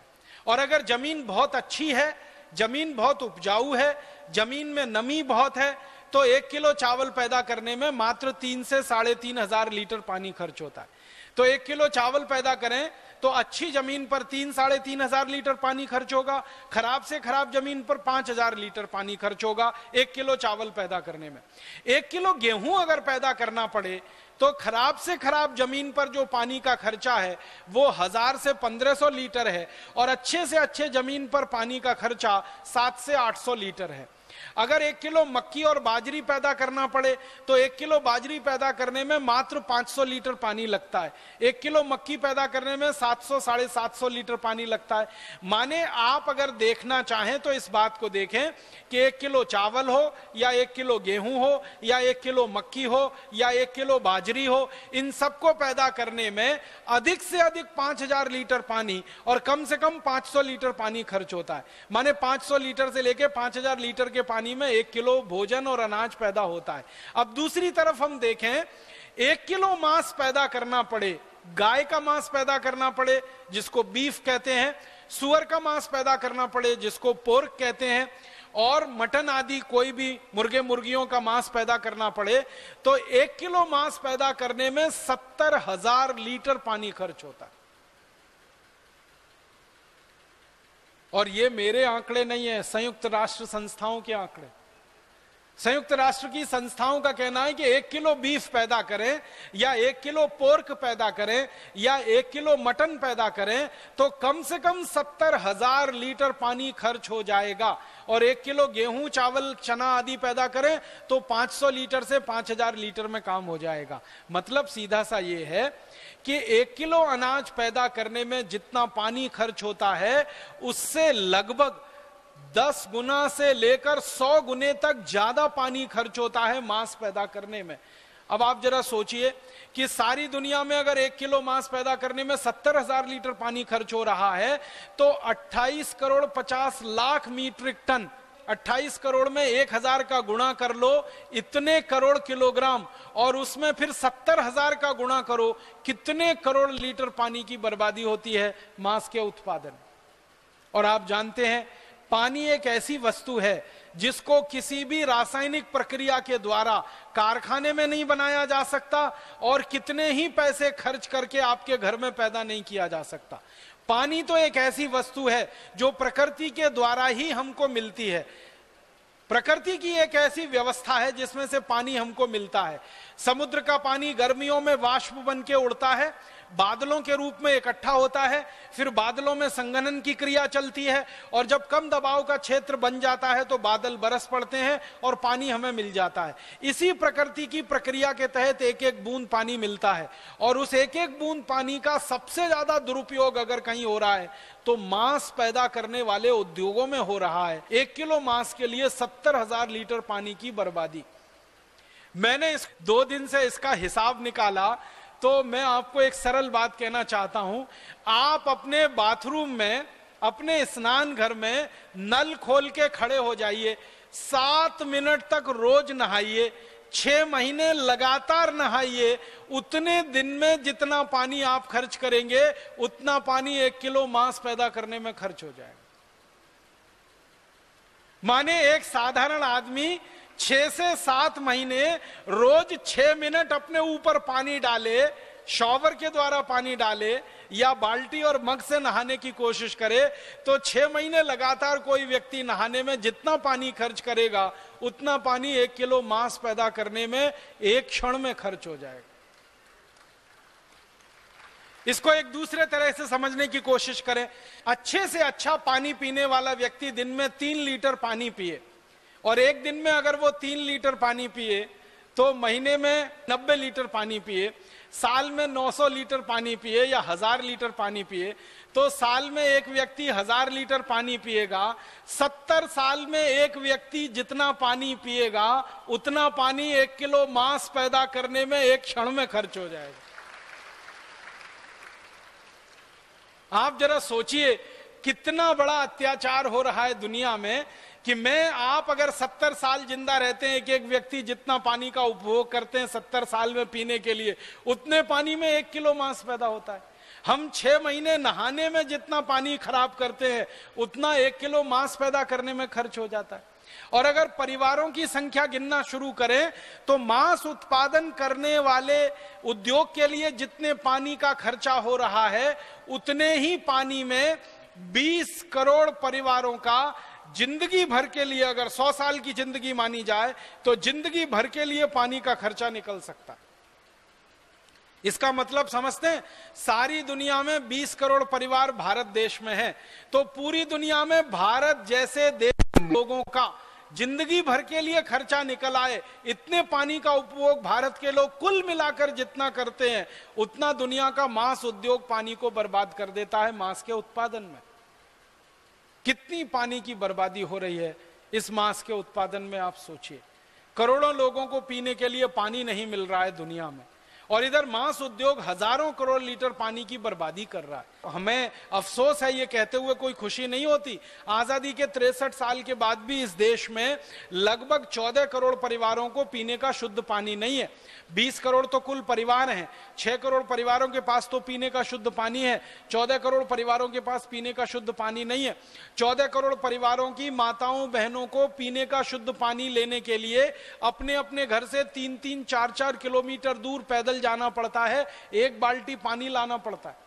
और भारत देश में चौदह करोड़ परिवारों में ये दृश्य रोज देखने को मिलता है कि माताएँ बहनें सवेरे तीन चार बजे उठती हैं, एक खाली बाल्टी लेके जाती हैं, उसमें पीने का पानी भर के लाती हैं, फिर भोजन बनाती हैं, फिर दोपहर को वही बाल्टी खाली लेके जाती हैं, फिर पीने का पानी लाती हैं, फिर शाम का भोजन बनता है और इसी में उनका पूरा जीवन तमाम होता है। पीने का पानी लाने और भोजन बनाने में। तो 14 करोड़ परिवारों को भारत में पीने का शुद्ध पानी ना मिले और भारत जैसे देश में मांस उत्पादन करने वाली कंपनियाँ हज़ारों करोड़ लीटर पानी का दुरुपयोग करें और सारी दुनिया में मांस पैदा करने वाली कंपनियाँ करोड़ों करोड़ों लीटर पानी का दुरुपयोग करें यह बहुत बड़ा अन्याय और अत्याचार है जो पानी को लेकर पूरी दुनिया के लोगों के ऊपर किया जा रहा है। दूसरा बड़ा अन्याय और अत्याचार क्या होता है? जब जानवरों का मांस बाज़ार में बिकता है तो उनको कत्ल किया जाता है। कत्ल करने के लिए कत्ल खाने बनाए जाते हैं। इन कत्ल खानों में जब जानवरों को कत्ल किया जाता है तो बहुत बेरहमी के साथ किया जाता है। बहुत हिंसा होती है, बहुत अत्याचार होता है। आप अगर देख लेंगे किसी जानवर को कत्ल खाने में कत्ल होते हुए तो बहुत दिन तक शायद आपको नींद नहीं आएगी, आपको खाना अच्छा नहीं लगेगा। इतने ज़्यादा बर्बरता से जानवरों को कत्ल किया जाता है। और जानवरों का कत्ल होते समय उनकी जो चीतकार निकलती है, उनके शरीर से जो स्ट्रेस्ड हार्मोन निकलते हैं और उसकी जो शॉक वेव्स निकलती हैं, वो पूरी दुनिया को तरंगित कर देती हैं, कंपायमान कर देती आपको एक छोटे से उदाहरण से समझाता हूँ। जब किसी जानवर को काटा जाता है तो क्या स्थिति होती होगी? आप इसको थोड़ी देर की कल्पना करके समझने की कोशिश करिए। आपके ऊपर अगर कोई व्यक्ति हमला करे और आपको मार डालने की कोशिश करे तो आपने महसूस किया है? आपके दिल की धड़कन बढ़ जाती है उस समय। आपने महसूस किया होगा, आपके माथे पे बहुत तेज पसीना आने लगता है। आपकी हथेलियों में पसीना आने लगता है। आपके पाओ में पसीना आने लगता है। आपके दिल की धड़कन बढ़ जाती है। आपका ब्लड प्रेशर बहुत तेज़ी से बढ़ने लगता है। माने शरीर में कुछ खास तरह के परिवर्तन आते हैं जब कोई हमारे ऊपर हमला करता है। और हमला करने की स्थिति में हमारा शरीर, हमारा मन दो ही प्रयास करता है। या तो हमलावर से हम लड़ जाएँ, भिड़ जाएँ, या वहाँ से भागकर अपनी जान बचाएँ। तीसरा कोई प्रयास आपका शरीर उस समय नहीं कर सकता। तो आप सोचिए कि जब आपके ऊपर कोई हमला करने के लिए तैयारी करता है और आपके शरीर में इस तरह के बड़े परिवर्तन आते हैं तो जानवरों की जब हत्या की जाती है तो उनके ऊपर जब हमला किया जाता होगा तो उनके शरीर में कितने परिवर्तन आते होंगे? कतल खानों को अंदर से जिन लोगों ने देखा है कतल खानों के ऊपर जिन लोगों ने फ़िल्में बनाई हैं कतल खानों के ऊपर जिन लोगों ने वीडियो फ़िल्में बनाई हैं, वो सारी दुनिया में अभी उपलब्ध हैं। कभी आप चाहें तो आपको भी वो सब दिखाई जा सकती हैं, लेकिन मैंने तो वो फ़िल्में देखी हैं, मुझे तीन तीन दिन नींद नहीं आई है। बहुत सारे दिन तक खाना खाने का दिल नहीं किया है। इसलिए कई बार लगता है कि लोगों को यह हिंसा क्यों दिखाई जाए, क्रूरता क्यों दिखाई जाए? बहुत तकलीफ़ की स्थिति में जानवरों को काटा जाता है। गाय को जब काटते हैं, भैंस को जब काटते हैं, बैल को जब काटते हैं, ऐसे ही नहीं काट देते एकदम में। धीरे धीरे उनको तड़प तड़प के मरने के लिए मजबूर होने की स्थिति में काटते पहले तो उनको भूखा रखा जाता है। और बार बार भूखा रख के उनके शरीर को कमज़ोर किया जाता है। फिर इनके ऊपर गर्म पानी की बौछार डाली जाती है और वो गर्म पानी 70 डिग्री सेंटीग्रेड से लेके 100 डिग्री सेंटीग्रेड तक का होता है। उस गर्म पानी की बौछार में जानवरों का शरीर फूलना शुरू हो जाता है। उसमें सूजन आना शुरू हो जाती है। जब शरीर पूरी तरह से फूल जाता है, गाय, बैल, भैंस तड़पते रहते हैं, चीखते रहते हैं, चिल्लाते रहते हैं, तब जीवित स्थिति में उनकी खाल को उतारा जाता है। और जीवित स्थिति में खाल को उतार कर जो खून इकट्ठा होता है, वो खून भी जीवित स्थिति में इकट्ठा किया जाता है। फिर गर्दन पे एक तरफ़ छोटा सा कट लगाया जाता है। गर्दन एक तरफ़ लुढ़क जाती है। फिर उसमें से बल बल बल बल खून निकलना शुरू होता है। तब तक जानवर तड़पता रहता है, अपने को छुड़ाने की कोशिश करता रहता है, लेकिन कसाई उसको पूरी तरह से मार नहीं देते हैं। जब धीरे धीरे स्पंदन कम होते जाते हैं, तब जाके पूरी गर्दन काटी जाती है। फिर उसके पाँव अलग से काटे जाते हैं, फिर शरीर का एक एक अंग उसमें से निकाला जाता है। अंदर की अंतड़ियों को खींच के निकालते हैं, बड़ी आंत को खींच के निकालते हैं, छोटी आंत को खींच के निकालते हैं। माने इतनी ज़्यादा बर्बरता और क्रूरता के साथ उनको कत्ल किया जाता है। अक्सर यह देखा गया है कि जानवरों में जैसे गाय है, या तो बैल है, या तो भैंस है, या तो सुअर है, या तो मुर्गे मुर्गियाँ हैं, इनकी गर्दन पर जब एक कट लगा देते हैं, पूरी गर्दन नहीं काटते तो वो ज़िंदा रहने के लिए इतना चीखते, तड़पते, चिल्लाते हैं कि कोई उनकी चीख पुकार सुन नहीं सकता, सिवाय उन बहरे कानों के जो रोज उनको काट काट के उनके मांस को डब्बों में पैक करते बहुत क्रूरता होती है।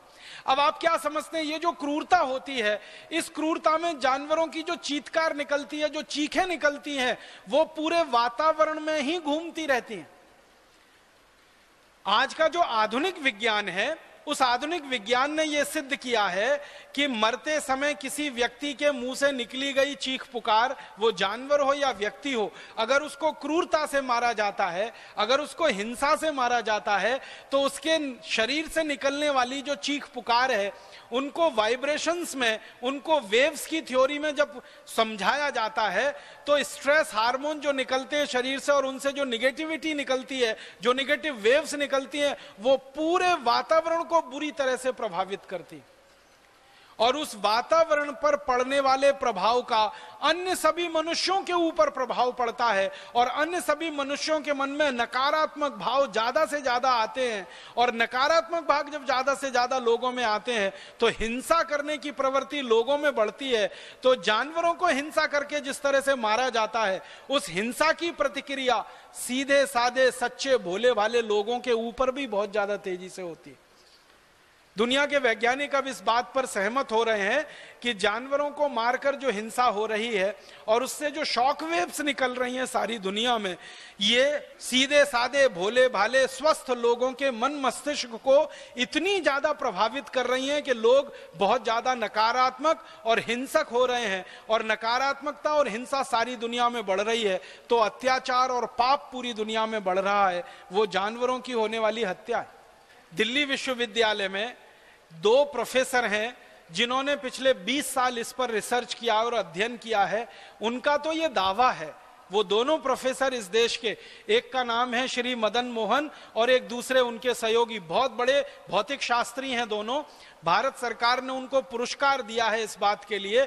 उनकी फिजिक्स की रिसर्च ये कहती है कि जानवरों को जितना ज़्यादा कत्ल किया जाएगा, जानवरों को जितना ज़्यादा हिंसा से मारा जाएगा, उतना ही अधिक दुनिया में भूकंप आएँगे, उतने ही अधिक दुनिया में जलजले आएँगे, उतने ही अधिक दुनिया में प्राकृतिक आपदा होगी, उतने ही अधिक दुनिया में संतुलन बिगड़ेगा, असंतुलन बढ़ेगा।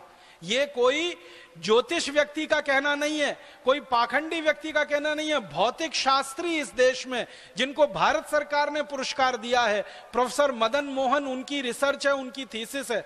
20 साल काम किया उन्होंने इस विषय पर। उन्होंने काम किया कि जहाँ जहाँ कतल खाने दुनिया में है, भारत में और वहाँ जाकर उन्होंने रहकर देखा शॉक वेव्स को उन्होंने एब्जॉर्व किया और उनको नापा, उनको तोला, उनका अभ्यास किया और उन्होंने पाया कि ज़्यादा से ज़्यादा दुनिया में प्राकृतिक रूप से जो दुर्घटनाएँ हो रही हैं, उनका एक बड़ा कारण कतल खाने हैं और उनमें से निकलने वाले जानवरों की चीख पुकार है। बहुत बड़ा नुकसान पूरी दुनिया इसमें झेल रही है। और एक बहुत बड़ा नुकसान हो रहा है पूरी दुनिया को एक तरफ़ जानवर कट रहे हैं, मनुष्य का खाना जानवरों को खिलाया जा तो है ही। मनुष्य के लिए जो स्थान सुरक्षित है रहने के लिए और जीवन यापन करने के लिए, उस स्थान को जानवरों के लिए आरक्षित किया जा रहा है। क्योंकि ये जो कतल खाने बनते हैं, इन कतल खानों की जगह एक दो वर्ग मीटर की नहीं होती, एक दो वर्ग किलोमीटर की नहीं होती, हज़ारों हज़ारों वर्ग किलोमीटर में कतल खानों के चरागाह बनाए जाते हैं और उनमें रेंच बनाए जाते हैं। जिन स्थानों पर आदमी रह सकता है, मनुष्य रह सकता है, ऐसे हज़ारों किलोमीटर के स्थान जानवरों के बाड़े के रूप में विकसित किए जाते हैं ताकि कत्ल करने वाले जानवरों को वहाँ विकसित किया जा सके और उन जानवरों को फिर वहाँ बड़ा करके उनका मांस लोगों को खिलाया जा सके। मैं एक और छोटा सा उदाहरण आपको देना चाहता हूँ, कितनी क्रूरता है इस दुनिया में जो जानवरों की हिंसा करने वाली दुनिया है या अत्याचार करने वाली दुनिया है। गाय के बछड़े का मांस अभी पूरी दुनिया में लोकप्रिय हो रहा है। गाय का मांस तो सारी दुनिया में बीफ के नाम पे खाया जाता है। व्हील नाम पर एक मांस बनता है जो गाय के बछड़े का होता है। ये व्हील मांस यूरोप और अमेरिका में सबसे ज़्यादा खाया जाता है। उसके बारे में पता किया जब मैंने तो मालूम हुआ, गाय का बछड़ा या बछड़ी जब पैदा हो जाता है और मात्र 24 घंटे का होता है, तभी उसको उसकी माँ से अलग कर दिया जाता है। मात्र 24 घंटे की देरी में। आप जानते हैं, गाय वैसी ही है। जैसे कोई माँ होती है, जैसे कोई स्त्री होती है। कोई भी स्त्री, कोई भी माँ अपने बच्चे को जन्म के तुरंत बाद दूध पिलाती है। और उस बच्चे को बड़ा करने के प्रयास में लग जाती है। वैसे ही गाय की भी भावना है कि बच्चे का जन्म होते ही वो अपना दूध बच्चे को पिलाए और उसको बड़ा करे। गाय का दूध पीने से बच्चे में थोड़ी पुष्टि आती है, ताकत आती है, उसकी मांसपेशियों का विकास होता है, उसके शरीर का विकास होता है। एक दिन का भी बच्चा नहीं होता, जन्म लेते ही उसको हटा लिया जाता है। फिर उस बच्चे को ले जाकर एक ऐसे स्थान पर रखा जाता है जहाँ ना वो खड़ा हो सकता है ना बैठ सकता है ना लेट सकता। आप ऐसे स्थान की कल्पना दोस्तों करो हमारी वीडियो अपडेट पाने के लिए हमारे यूट्यूब चैनल को सब्सक्राइब करना ना भूलें। लेट भी ना सके। कितना संकुचित और कितना छोटा सा स्थान होगा वहाँ ले जाकर एक दिन के गाय के बच्चे को रख दिया जाता है। और फिर उसको उतनी ही बेदर्दी से कत्ल किया जाता है, जो थोड़ी देर पहले मैं आपसे बता रहा था, एक तरफ़ गर्दन काट के खून निकालते हैं, पूरी गर्दन एक बार में नहीं काटते, फिर मांस के लिए अलग हिस्सा करते हैं, पाँव अलग काटते हैं एक एक हिस्सा उसका अलग अलग काटते हैं। मांस खाने वालों से पूछा जाता है तो वो कहते हैं कि ये जो गाय के एक दिन के बच्चे का मांस होता है में सबसे महँगा बिकता है, क्योंकि ये सबसे ज़्यादा नरम होता है, सबसे ज़्यादा मुलायम होता है। जो मांस वाले लोग हैं, वो कहते हैं कि ये सबसे ज़्यादा स्वादिष्ट भी होता है। तो कुछ लोगों के जीव का स्वाद बना रहे और कुछ लोगों को ये नरम मुलायम मांस मिलता रहे, इसके लिए करोड़ों गाय के बच्चों को जन्म लेने के घंटे के अंदर बच्चों को माँ से अलग कर दिया जाता है और ऐसे स्थान पर रखा जाता है जहाँ ना खड़े हो सके ना बैठ सके ना लेट सके और उसके बाद उनकी बर्बरता से निर्ममता से हत्या की जाती है और कुछ लोगों को अपने पेट की आग उसी से बुझाने का रास्ता खुलता है। आप सोचिए इतनी खतरनाक और इतनी दुष्ट राक्षसी प्रवृत्ति किसकी हो सकती है? मारने वालों के अलावा दुनिया में इतने दुष्ट प्रवृत्ति के और कौन से लोग हो सकते हैं? जो एक दिन के गाय के बच्चे के मांस को खा सके, एक दिन के गाय के बच्चे को उसकी माँ से अलग करके, उसका बर्बरता पूर्वक निर्ममता पूर्वक कत्ल करके उसके मांस को खाएँ। ऐसी दुनिया में उद्योगों में बहुत तेज़ी से बढ़त हो रही है, बहुत रफ्तार के साथ ये उद्योग आगे बढ़ रहा है। और ये उद्योग आगे बढ़ते बढ़ते सारी दुनिया की करोड़ों गाय के लिए नासूर बन गया। कैलिफ़ोर्निया में दुनिया का सबसे बड़ा खाना चलता है। कैलिफ़ोर्निया का जो कतल खाना है, उस कतल खाने का आंकड़ा है कि एक दिन में वहाँ छत्तीस हज़ार गाय काटी जाती है। भारत का सबसे कतल खाना है, आंध्र प्रदेश में एक है और मुंबई में, महाराष्ट्र में एक है। उसके आंकड़े हैं कि वहाँ एक दिन में चौदह हज़ार जानवरों को काटा जाता है। तो भारत का जो सबसे बड़े कतल खानों के आंकड़े हैं, उनमें एक दिन में चौदह हज़ार जानवर कटते हैं। अमेरिका के जो सबसे बड़े कतल खानों के बारे में जानकारी है, वहाँ एक दिन में छत्तीस हज़ार बड़े जानवर कटते हैं। तो कैलिफ़ोर्निया का जो सबसे बड़ा कतल खाना है, वहाँ छत्तीस हज़ार रोज कटती है।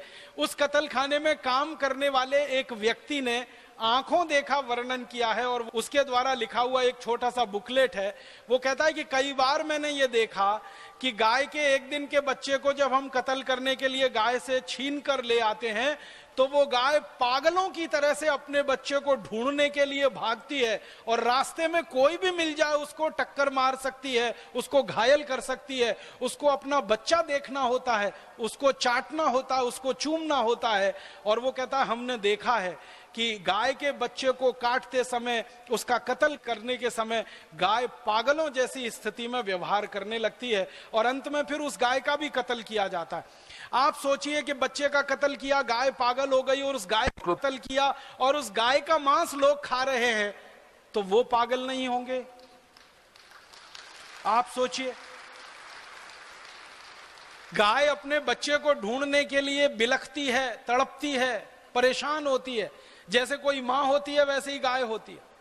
तो अमेरिका के, कैलिफ़ोर्निया के कतल खाने में काम करने वाला आदमी लिखता है अपनी उस बुकलेट में कि मैंने कई बार अपनी आँखों से देखा है कि गाय पागलों की तरह से घूमती है, बच्चे को ढूंढती है, जब नहीं मिलता है और रास्ते में कोई भी मिल जाए उसको, वो उसको टक्कर मार देती है, घायल कर देती है। इतनी शक्ति उस गाय में पैदा हो जाती है। हालाँकि वो गाय एक ही दिन की सद्य प्रसूता होती है, माने एक दिन पहले ही माँ बनी होती है, फिर भी अपने बच्चे को ढूँढने के लिए तड़पती है और इतनी ताकत उसमें आ जाती है। ऐसी स्थिति में करोड़ों करोड़ों गायों को परेशान करके तड़पा के उनके बच्चों को उनसे छीन कर उनको बिलखता छोड़कर जब कत्ल किए जाते हैं और उसका मांस दुनिया के लोगों को परोसा जाता है तो किस तरह के लोग बनेंगे इस मांस को खाने वाले? किस तरह की वृत्ति होगी ऐसे लोगों की जो इस तरह का मांस खाते हैं? आप उसका अंदाज़ा लगा सकते हैं।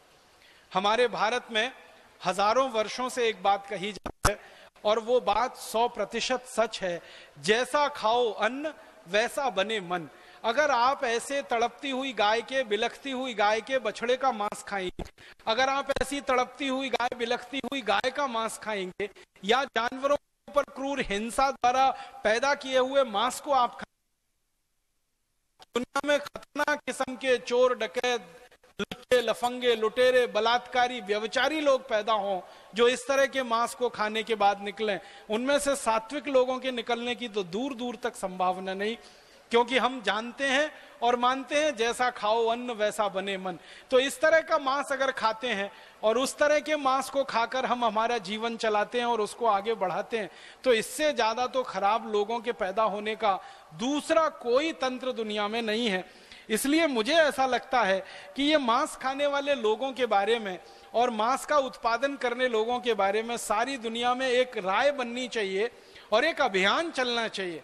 कि हर मांसाहारी आदमी को समझाया जाए और उसको शाकाहारी बनाया जाए और मांस पैदा करने वाले उद्योगों को कहा जाए कि भाई तुमको पैसा कमाना है, उद्योग चलाना है, रोजी रोटी चलानी है तो दुनिया में बहुत सारे अच्छे काम है करने के लिए। गेहूँ का उत्पादन करो, मांस का उत्पादन क्यों करते हो? चावल का उत्पादन करो, मांस का उत्पादन क्यों करते हो? दूध का उत्पादन करो, मांस का उत्पादन क्यों करते हो? दही और घी का उत्पादन करो, मांस का उत्पादन क्यों करते हो? क्योंकि दूध, दही, घी भी उन्हीं जानवरों से मिलता है, जिन जानवरों से मांस मिलता है। एक छोटी सी बात और मैं आपसे कहना चाहता हूँ वो ये कि सारी दुनिया में मांस से बनने वाला भोजन है और सबसे ज़्यादा जो बिकने वाला भोजन है, उसको हैमबर्गर कहते हैं। उसको शॉर्ट में बर्गर कह देते हैं। उसका मूल नाम है हैमबर्गर ये हैमबर्गर जो बनाया जाता है, ये गाय के मांस से बनाया जाता है।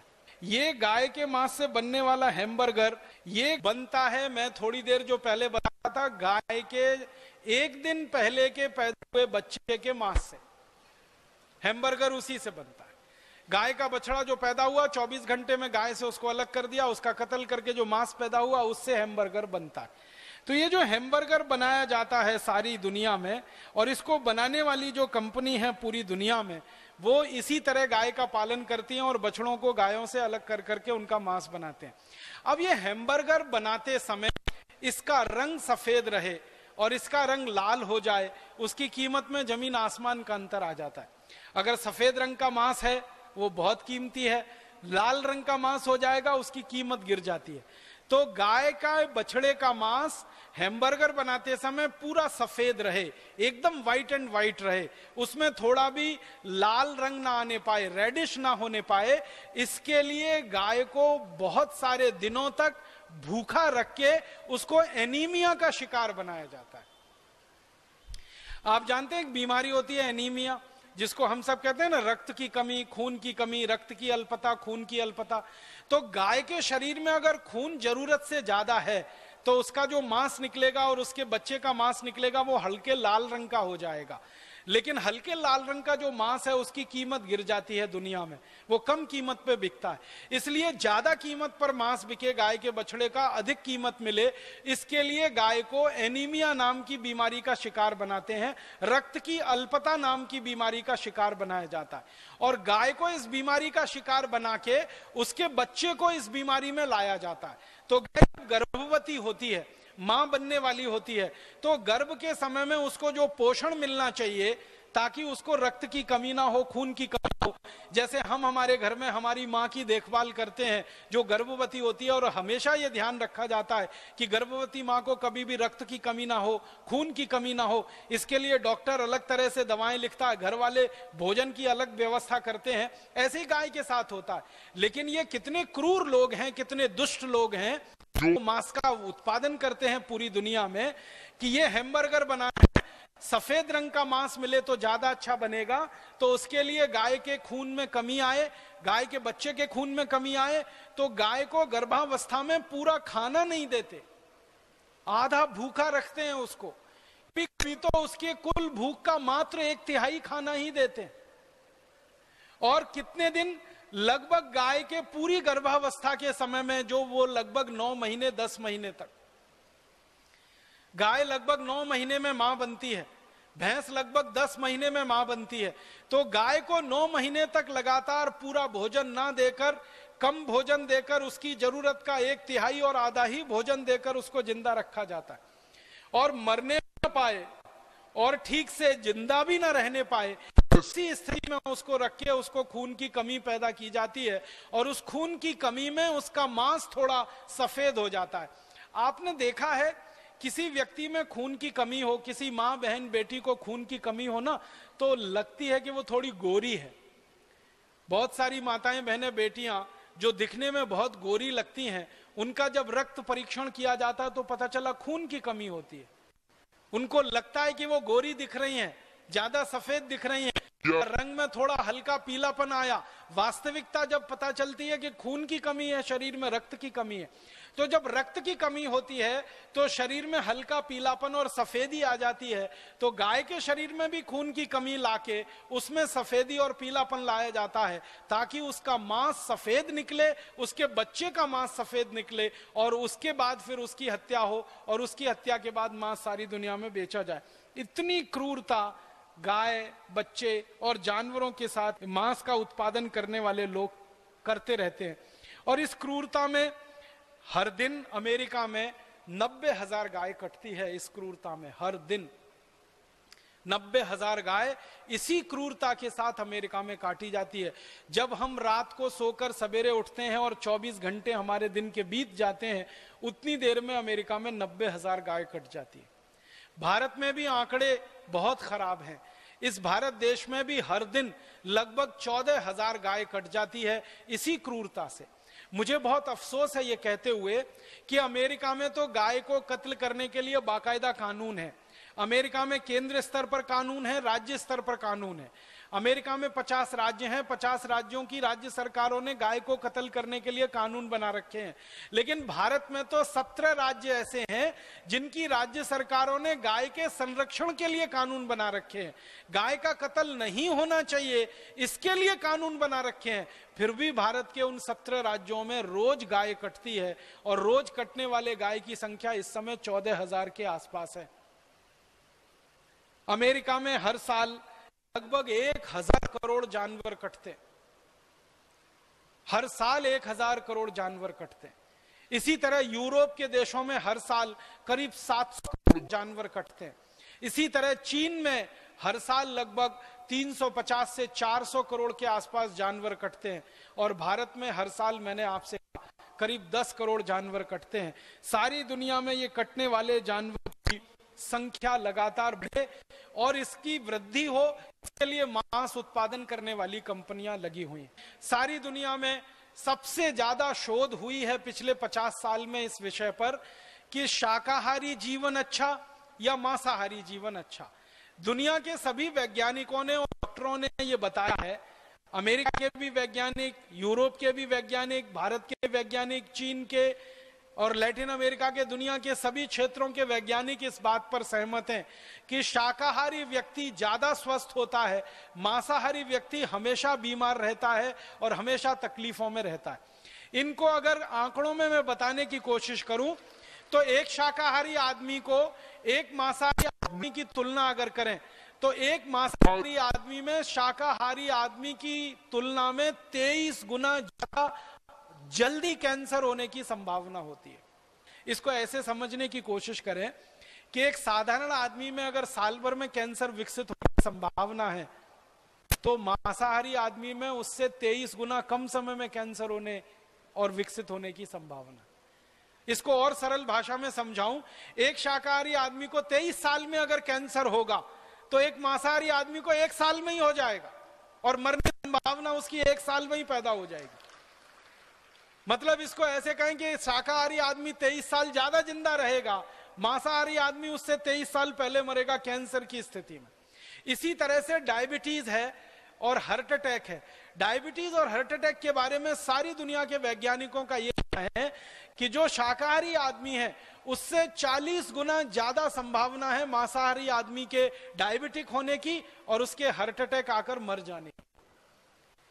इसी तरह से अन्य बीमारियाँ हैं, जोड़ों का दर्द है, घुटनों का दर्द है अर्थराइटिस है ऑस्टियो अर्थराइटिस है, मोटापा है फैटी होना है ओबेसिटी होना है इसकी संभावना तो कई कई सौ गुना ज़्यादा है मांसों में शाकाहारी की सारे दुनिया के वैज्ञानिक इस बात पर सहमत हैं कि शाकाहारी जीवन ही स्वस्थ जीवन है और शाकाहारी जीवन को जीकर ही आप ज़्यादा दिन ज़िंदा रह सकते हैं। मांसाहारी होकर तो बहुत जल्दी पड़ेंगे और मरेंगे। इसमें संभावनाएँ क्या क्या है? जो मांसाहारी लोगों के बारे में वैज्ञानिकों का कहना है वो ये कि जो मांस उत्पन्न हो रहा है, वो बहुत ही खराब तरीके से होता है। सबसे बड़ा खराब तरीका कि जानवरों को जहाँ पाला जाता है और रखा जाता है, वो जगह बहुत छोटी होती है और जानवर उसमें ज़्यादा भरे जाते हैं। और छोटी जगह में ज़्यादा जानवरों को जब भरा जाता है तो जानवरों के आपस में जो तनाव की स्थिति पैदा होती है, अक्सर जो सुअर का मांस पैदा करने वाली कंपनियाँ है ना, उनके जो बाड़े होते हैं, उनको अंग्रेज़ी में रेंच कहते हैं तो सुअरों के जो रेंच होते हैं, उसमें हर सुअर दूसरे की पूछ काट लेता है, क्योंकि वो तनाव में रहता है हमेशा। और तनाव में रहने का कारण क्या है? एक सुअर को रहने के लिए कम से कम जितना स्थान चाहिए, उतने में दस सुअर को रख देते हैं। एक मुर्गे को रहने के लिए कम से कम चार स्क्वायर फीट जगह लगती है। चार स्क्वायर फीट में तो दस मुर्गों को ज़बरदस्ती रख एक गाय को रहने के लिए न्यूनतम जितनी जगह चाहिए, उसमें दस गाय को रख देते हैं। एक भेड़ को रहने के लिए, बकरी, बकरे को रहने के लिए जितनी जगह चाहिए, उसमें दस गुने ज़्यादा रख देते हैं। तो जानवर हमेशा तनाव में रहते हैं, क्योंकि जगह कम होती है उनको रहने के लिए। आप ही एक इसको रहने की कोशिश करके देखिए कभी। एक कमरा है जिसमें एक व्यक्ति आसानी से रह सकता है, उसमें दस लोग रहना शुरू कर दीजिए और लगातार दो, चार, छह महीने रहकर देख लीजिए। अच्छे खासे स्वस्थ आदमी है, पागल होने की स्थिति में आप आ जाएँगे। इतना बढ़ जाएगा, चिड़चिड़ापन आपको इतना बढ़ जाएगा, परेशानियाँ आपको इतनी बढ़ जाएँगी। तो वो जानवर तो महीनों महीनों महीनों महीनों महीनों महीनों ऐसे ही रहते हैं। उनको तनाव बहुत होता है। और तनाव के समय में उनके शरीर में तनाव पैदा करने वाले हार्मोन्स बहुत निकलते हैं। स्ट्रेस हार्मोन का सबसे ज़्यादा सीक्रेशन उनके शरीर में उस समय होता है। और उसी समय जब उनको काटा जाता है तो भय और उनको होता है, डर और उनको होता है। तो डर और भय की स्थिति में जब जानवर काटे जाते हैं तो उनके खून में वो सारे के सारे निगेटिव हार्मोन्स या स्ट्रेस हार्मोन जो तनाव देने वाले हार्मोन है, वो रहते हैं। और थोड़े बहुत मांस में भी रहते होंगे, मांसपेशियों में भी रहते होंगे। और मांसपेशियाँ और मांस का ही हिस्सा है। जो लोग खाते हैं तो उनके शरीर में वो सब जाते हैं और उसके कारण तरह तरह की बीमारियाँ लोगों को होती हैं। इसलिए दुनिया में कहा गया है कि मांसाहारी लोगों को शाकाहारी लोगों की तुलना में बीमारियाँ होती हैं और उनके मरने की सबसे जल्दी संभावना होती है। इसके अलावा दुनिया में और एक महत्व की बात गई है वो ये कि जो शाकाहारी लोग हैं, उनमें दया प्रेम, करुणा, ये सबसे ज़्यादा तीव्र गति से और सबसे उच्च स्थिति में मिलती है। सारी दुनिया में कई जगह अभ्यास किया गया, कई जगह अध्ययन किया गया। अलग अलग समूह बनाकर एक तरफ़ मांसाहारी लोग हैं, एक तरफ़ शाकाहारी लोग हैं। तो देखा यह गया कि जो शाकाहारी लोग हैं दया है, उनमें प्रेम है, उनमें करुणा है, उनमें वात्सल्य है, उसमें ममता है, उसमें ममत्व है। सब तरह के मानवीय गुण सबसे ज़्यादा शाकाहारी लोगों में है। और हिंसा है, हिंसा के साथ साथ चोरी, चपाटी, डकैती, बलात्कार की भावना, एक दूसरे को दुष्टता के स्तर पर देखने की भावना, एक दूसरे को नुकसान पहुँचाने की भावना, ये सबसे ज़्यादा देखी गई है मांसाहारी लोगों में होती है। और दुनिया में हम देख भी रहे हैं कि इस समय जो हिंसा का सबसे बड़ा दौर चल रहा है पूरी दुनिया में, जहाँ सबसे ज़्यादा हिंसा हो रही है पूरी दुनिया में, आप ध्यान दीजिए वो सारा का सारा इलाका मांसाहारी लोगों का है। और मांसाहारी लोगों के इलाके में होने वाली जो हिंसा है, वो जल्दी खत्म नहीं होती है। दस, बीस, पचास साल नहीं, सैकड़ों सैकड़ों साल वो हिंसा चलती है और इस हिंसा में से प्रतिहिंसा चलती है और वो पूरा इलाका हमेशा के लिए अशांत और अशांति में डूब जाता है। दुनिया में जहाँ शाकाहार बहुत ज़्यादा है, उन देशों में आप देख लो, काफ़ी शांति मिलेगी। मैंने ये देखा इस अध्ययन में कि जो शाकाहारी लोग हैं वो गरीब हैं, भुखमरी के शिकार हैं। उनमें कुछ महामारियाँ भी हो सकती हैं, लेकिन सबसे ज़्यादा शांति उन्हीं के इलाके में है, जहाँ सबसे ज़्यादा शाकाहारी लोग हैं पूरी दुनिया। और जहाँ मांसाहारी लोग हैं, उनमें अमीरी हो सकती है। उनमें अमीरी है, उनमें समृद्धि है, उनमें संपत्ति है, लेकिन सबसे ज़्यादा हिंसा उनके बीच में है, और मानसिक हिंसा सबसे ज़्यादा है, सबसे ज़्यादा अशांति उनके बीच में दुनिया में जिन देशों में मांस सबसे ज़्यादा खाया जाता है, वहाँ मानसिक रोगी सबसे ज़्यादा है। एक छोटे से देश की कहानी बताता हूँ। स्पेन नाम का एक देश है और स्वीडन नाम का एक देश है। स्वीडन को दुनिया में कहा जाता है सबसे ज़्यादा अमीर देश है। स्वीडन को कहा जाता है वहाँ विकास का मानदंड सबसे ऊँचा है।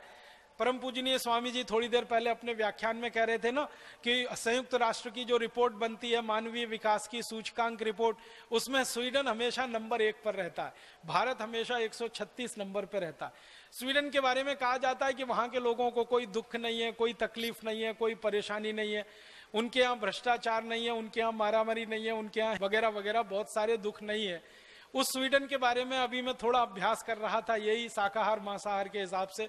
तो स्वीडन है तो छोटा सा देश, लेकिन मांस सबसे ज़्यादा खाया जाता है और मांस का उपभोग सबसे ज़्यादा है। तो स्वीडन के कुछ डॉक्टरों ने और वैज्ञानिकों ने एक अध्ययन किया वो इस बात के लिए कि स्वीडन की सड़कें दुनिया में सबसे अच्छी हैं, सबसे अच्छी सड़कें हैं, पूरी दुनिया में स्वीडन में है।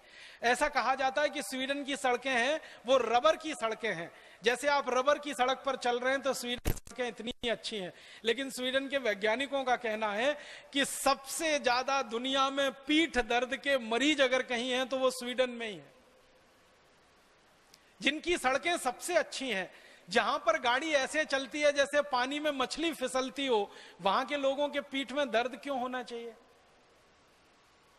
भारत जैसे देश की सड़कों के बारे में ये कहा जाए तो समझ में आता है, क्योंकि भारत में तो सड़कें कम है, खड्डे ज़्यादा हैं। यहाँ तो सड़क के बीच में खड्डे नहीं है, खड्डों के बीच में से सड़क निकलती है। यहाँ के लोगों के पीठ में दर्द हो तो समझ में आता है पूरी दुनिया में सबसे ज़्यादा। लेकिन स्वीडन के लोगों के पीठ में सबसे ज़्यादा क्यों है? तो वहाँ के वैज्ञानिकों का कहना है कि सोमेटिक डिसऑर्डर है वहाँ के लोगों को। मनोदैहिक जो चिकित्सा करने वाले वैज्ञानिक है, वो कह रहे हैं कि इसकी ज़्यादा असंतुलन में से पैदा हुई बीमारियाँ हैं। उन सड़कों से कोई लेना देना नहीं है और उनका कहना है बीमारियों का एक बड़ा कारण उनके वो मांसाहारी भोजन है और मांसाहारी जीवों की हत्या है और उनसे निकलने वाली हिंसा है। तो ये अभी अध्ययन सारी दुनिया में हो रहे हैं और बता रहे हैं कि कैंसर ज़्यादा हो रहे हैं, डायबिटीज़ ज़्यादा हो रही है, हार्ट अटैक ज़्यादा हो रहे हैं, ब्रेन हेमरेज ज़्यादा हो रहे हैं, कोलेस्ट्रॉल ज़्यादा बढ़ रहा है, मोटापा ज़्यादा बढ़ रहा है, हमारे घुटनों के दर्द, कमर के दर्द, कंधों के दर्द ज़्यादा बढ़ रहे हैं, मांसाहारी लोगों को। तो हम क्यों फालतू में इस दुनिया में जाएँ, मांस खाने वाले बने? इसलिए मेरा, आप सभी से एक विनम्र निवेदन है मैं तो ये मान के आपसे ये बात कह रहा हूँ कि हम में से तो शायद ही कोई भारत स्वाभिमान का कार्यकर्ता होगा, जो मांसाहारी अब तक बचा होगा, अन्यथा तो वो शाकाहारी हो गया होगा। प्राणायाम करते करते, योग करते करते बार बार आस्था चैनल पर परम पूजनीय स्वामी जी का व्याख्यान सुनते सुनते, अब तक तो सभी भारत स्वाभिमान के जो कार्यकर्ता हैं, भारत स्वाभिमानी है, वो सब शाकाहारी हो गए होंगे, लेकिन गलती से कोई एक आध बच गया है तो अब हो जाना चाहिए, उसको बहुत जल्दी से जल्दी शाकाहारी हो जाना चाहिए, उसको मांसाहारी रहना ही नहीं चाहिए। अभी कई बार ये मांसाहारी लोग एक कुतर्क देते हैं, वो ये देते हैं कि मांस में प्रोटीन ज़्यादा मिलती है। और प्रोटीन का दूसरा हमारे पास कौन सा स्रोत है अगर हम मांस नहीं खाएँ तो? आपको सुनकर ताजुब होगा और हैरानी होगी कि मांस में जितनी प्रोटीन मिलती है, लगभग उतनी ही, और उससे थोड़ी ज़्यादा प्रोटीन हमको दालों में मिलती है। अगर आप एक किलो मांस खाते हैं और एक किलो मांस में जितनी प्रोटीन आपको मिलने की है, उससे ज़्यादा प्रोटीन एक किलो मूंग की दाल खा लो, उसमें मिल जाएगी आपको। एक लीटर दूध पी लो उसमें उससे ज़्यादा प्रोटीन आपको मिल जाएगी। और एक लीटर जो है ना अगर आपको कैल्शियम चाहिए और कैल्शियम के साथ साथ दूसरे दोस्तों हमारी वेबसाइट तो राजीव दीक्षित जी डॉट कॉम ज़रूर विज़िट करें। एक लीटर संतरे का रस पी लो एक लीटर मौसमी का रस पी लो गाजर का रस पी लो टमाटर का रस पी लो। मांस से तो कई गुना सस्ता है। और कैल्शियम देने में मांस से ज़्यादा आगे है, प्रोटीन देने में आगे है, हजम बहुत जल्दी हो जाता है, पाचन उसका बहुत जल्दी हो जाता है। तो एक किलो मांस खाने से अच्छा एक किलो दूध पीना, एक किलो मांस खाने से अच्छा एक किलो दाल खाना, एक किलो मांस खाने से अच्छा एक लीटर जूस पी लेना। हर स्थिति में शाकाहारी भोजन, मांसाहारी भोजन से क्वालिटी में बहुत अच्छा है और कीमत में बहुत सस्ता है। मैंने अभी थोड़ी देर पहले एक कैलकुलेशन किया वो ये कि अगर हम एक एकड़ खेत में खेती करें और एक एकड़ खेत की खेती में साल में चार फ़सल लें और चार फ़सल में गेहूँ भी हो, चार फ़सल में चावल भी हो जाए, चार फ़सल में दालें भी हो जाएँ, कुछ सब्ज़ियाँ भी हो जाएँ तो एक एकड़ खेत में जितनी खेती हम करेंगे साल भर में, उसमें 22 लोगों का भोजन हम दे सकते हैं। एक एकड़ खेत में खेती करके 22 लोगों का पेट भरा जा सकता है पूरे साल में जितना उत्पादन होगा। उसी एक एकड़ खेत में जितना अन्न पैदा हो, उस पूरे अन्न को किसी जानवर को खिलाया जाए और उसका मांस पैदा किया जाए तो उस मांस से पूरे साल में सिर्फ़ दो लोगों का ही पेट भर सकता है। एक एकड़ खेत में हम खेती करके अन्न पैदा करें तो 22 लोगों का भोजन मिलता है। उसी एक एकड़ खेत में जो अन्न पैदा हो रहा है, वो जानवरों को खिला दिया जाए। जो जानवर उस मांस को खाएँगे, और उसमें से जो मांस पैदा होकर आदमी को खाने को मिलेगा, वो सिर्फ़ दो आदमी का पेट भर सकता है। बहुत साल पहले, हमारे देश में एक महान विचारक और चिंतक पैदा हुए महर्षि दयानंद सरस्वती। महर्षि दयानंद सरस्वती जी ने एक बहुत सुंदर पुस्तक लिखी है। बहुत छोटी सी पुस्तक है, लेकिन बहुत ही सुंदर है। मेरे विद्यार्थी जीवन में मैंने उस पुस्तक को बार बार पढ़ा था। उस पुस्तक का नाम है गो करुणा निधि। गो करुणा निधि पहली पुस्तक थी जिसको मैंने पढ़ा, जिसमें गाय के बारे में आर्थिक मूल्यांकन और विश्लेषण प्रस्तुत किया गया था। महर्षि दयानंद सरस्वती के पहले शायद किसी भारतीय चिंतक और विचारक को गाय के आर्थिक पक्ष के बारे में इतना बड़ा अंदाज़ा नहीं था। तो महर्षि दयानंद जी ने भी यही लिखा है कि एक गाय को काटकर उसका मांस खिलाओ तो बहुत मामूली से, थोड़े से लोगों का जीवन चल सकता है। लेकिन उसी गाय को ज़िंदा रखो और उसके दूध का और दूध के अलावा दूसरी वस्तुओं का उपयोग करो तो उससे कई गुना ज़्यादा लोगों का जीवन चलाने का रास्ता खुलता है। तो महर्षि दयानंद सरस्वती ने जो बात 1870 के पहले कभी समझी, सोची और लिखी वो बात अभी 2009 में भी उतनी ही खरी और सत्य है और उतनी ही प्रामाणिक है, जो आज से वो लगभग 140 145 साल पहले थी। और इतनी ही प्रासंगिक है। तो हम तो सब महर्षि दयानंद के पुत्र हैं, हम तो सब महर्षि दयानंद के मार्गी हैं, हम तो सब उनकी शिक्षाओं को लेकर अपने जीवन में आगे बढ़ने और चलने वाले लोग हैं। हम तो सब महर्षि दयानंद जैसे महान महान विचारक और महापुरुषों के द्वारा जो दी गई शिक्षाएँ हैं, उनको अपने जीवन में धारण करके आगे बढ़ने वाले लोग हैं। हम तो भगवान राम के, भगवान कृष्ण के वंशज हैं। हम तो भगवान महावीर, महात्मा बुद्ध के वंशज हैं। भगवान महावीर का तो सारा जीवन ही दया, प्रेम, करुणा की शिक्षा देने में और लोगों को शाकाहारी बनाने में ही बीता है। ढाई हज़ार साल पहले उन्होंने जो कुछ कहा अहिंसा के लिए, सत्य के लिए, अपरिग्रह के लिए, वो सब ढाई हज़ार साल बाद भी उतना ही प्रासंगिक है और महत्वपूर्ण है। तो भगवान महावीर की शिक्षाएँ हो, महात्मा बुद्ध की शिक्षाएँ हो, या हमारे देश में महर्षि दयानंद की शिक्षाएँ हो, या महात्मा गांधी जैसे लोगों, विचारकों की शिक्षाएँ हो, इन सबके आदर्शों को लेकर तो चलने वाले लोग हैं। भारत स्वाभिमानी है हम सब। तो मुझे लगता है कि हमको तो जल्दी से जल्दी इस रास्ते पे चलकर दूसरों को तेज़ी से शाकाहारी बनाने के लिए काम में लग जाना चाहिए, ताकि भारत की जो 30 प्रतिशत आबादी गलती से, अज्ञान से मांसाहार की तरफ़ बढ़ गई है। भारत में तो अभी गनीमत है कि 30 प्रतिशत आबादी ही गलती से मांसाहार की तरफ़ अज्ञान के कारण मांसाहार की तरफ़ बढ़ी है। इस 30 प्रतिशत भारत की आबादी को जल्दी से शाकाहारी बना ले और दुनिया की आबादी को शाकाहारी बनाने के लिए काम में लग जाए। तो मैंने आपसे विनम्रता पूर्वक कहा था सबसे पहले कि जितना अन्न उत्पादन आज हो रहा है, इसमें एक किलो की भी बढ़ोतरी ना हो और सारी दुनिया में मांस के कतल खाने बंद हो जाएँ। तो जितना भोजन हम आज पैदा कर रहे हैं, उतने भोजन से 1300 करोड़ लोगों का पेट भर सकता है। अभी तो हम सिर्फ़ साढ़े छह करोड़ हैं पूरी दुनिया में। माने पूरी दुनिया की भूख मिट सकती है। पूरी दुनिया की बेबसी खत्म हो सकती है, लोगों की लाचारी खत्म हो सकती है। हर दिन चालीस हज़ार लोग बच्चे भूख से जो मर रहे हैं, उनको बचाया जा सकता है। सारी दुनिया के पर्यावरण को सुरक्षित रखा जा सकता है। और दुनिया में गर्मी पैदा करने वाले जो कारक हैं, उन कारकों में मांस सबसे बड़ा कारण बन गया है। इसको खत्म किया जाए तो गर्मी कम की जा सकती है। सारी दुनिया के जंगल बचाए जा सकते हैं। पीने वाले पानी का सदुपयोग किया जा सकता है, उस पानी को बचाया जा सकता है, जो बेहतर कामों में लगाया जा सकता है। ये सब फ़ायदे ही फ़ायदे हैं। बस नुकसान एक ही है। कि मांसाहारी लोग अगर दुनिया में शाकाहारी हो गए, मांस पैदा करने वालों को कोई दूसरा रोज़गार ढूंढना पड़ेगा, कोई दूसरा उद्योग चलाना पड़ेगा और दूसरी जगह अपनी प्रतिभा को लगाना पड़ेगा। एक ही ये परिवर्तन होगा उनकी तरफ़ से, बाकी सद परिवर्तन तो पूरी दुनिया के लोगों में हो जाएँगे।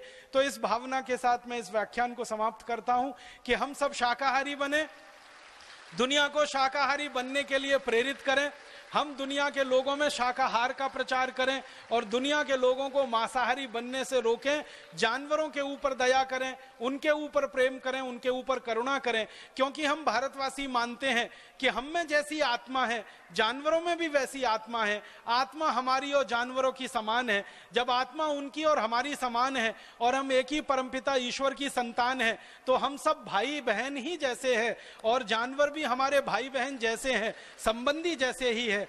तो हमारे संबंधी, हमारे भाई बहन जैसे दया, प्रेम, करुणा के पात्र जानवर, उनको हम बचाएँ, इन पशुओं को हम बचाएँ तो उनको नहीं बचाएँगे। हम अंत में अपने आप को बचाएँगे, ये हमारे लिए अभीष्ट है और यही हमारा उद्देश्य है। इसमें हम सब लगे, ईश्वर हमें सफलता दे और हमें प्रेरणा मिलती रहे। ऐसी भावना के साथ आप सभी का आभार। बहुत बहुत धन्यवाद।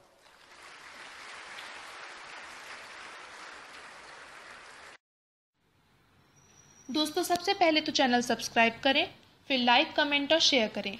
और हाँ हमारा एंड्रॉयड ऐप डाउनलोड करना ना भूलें।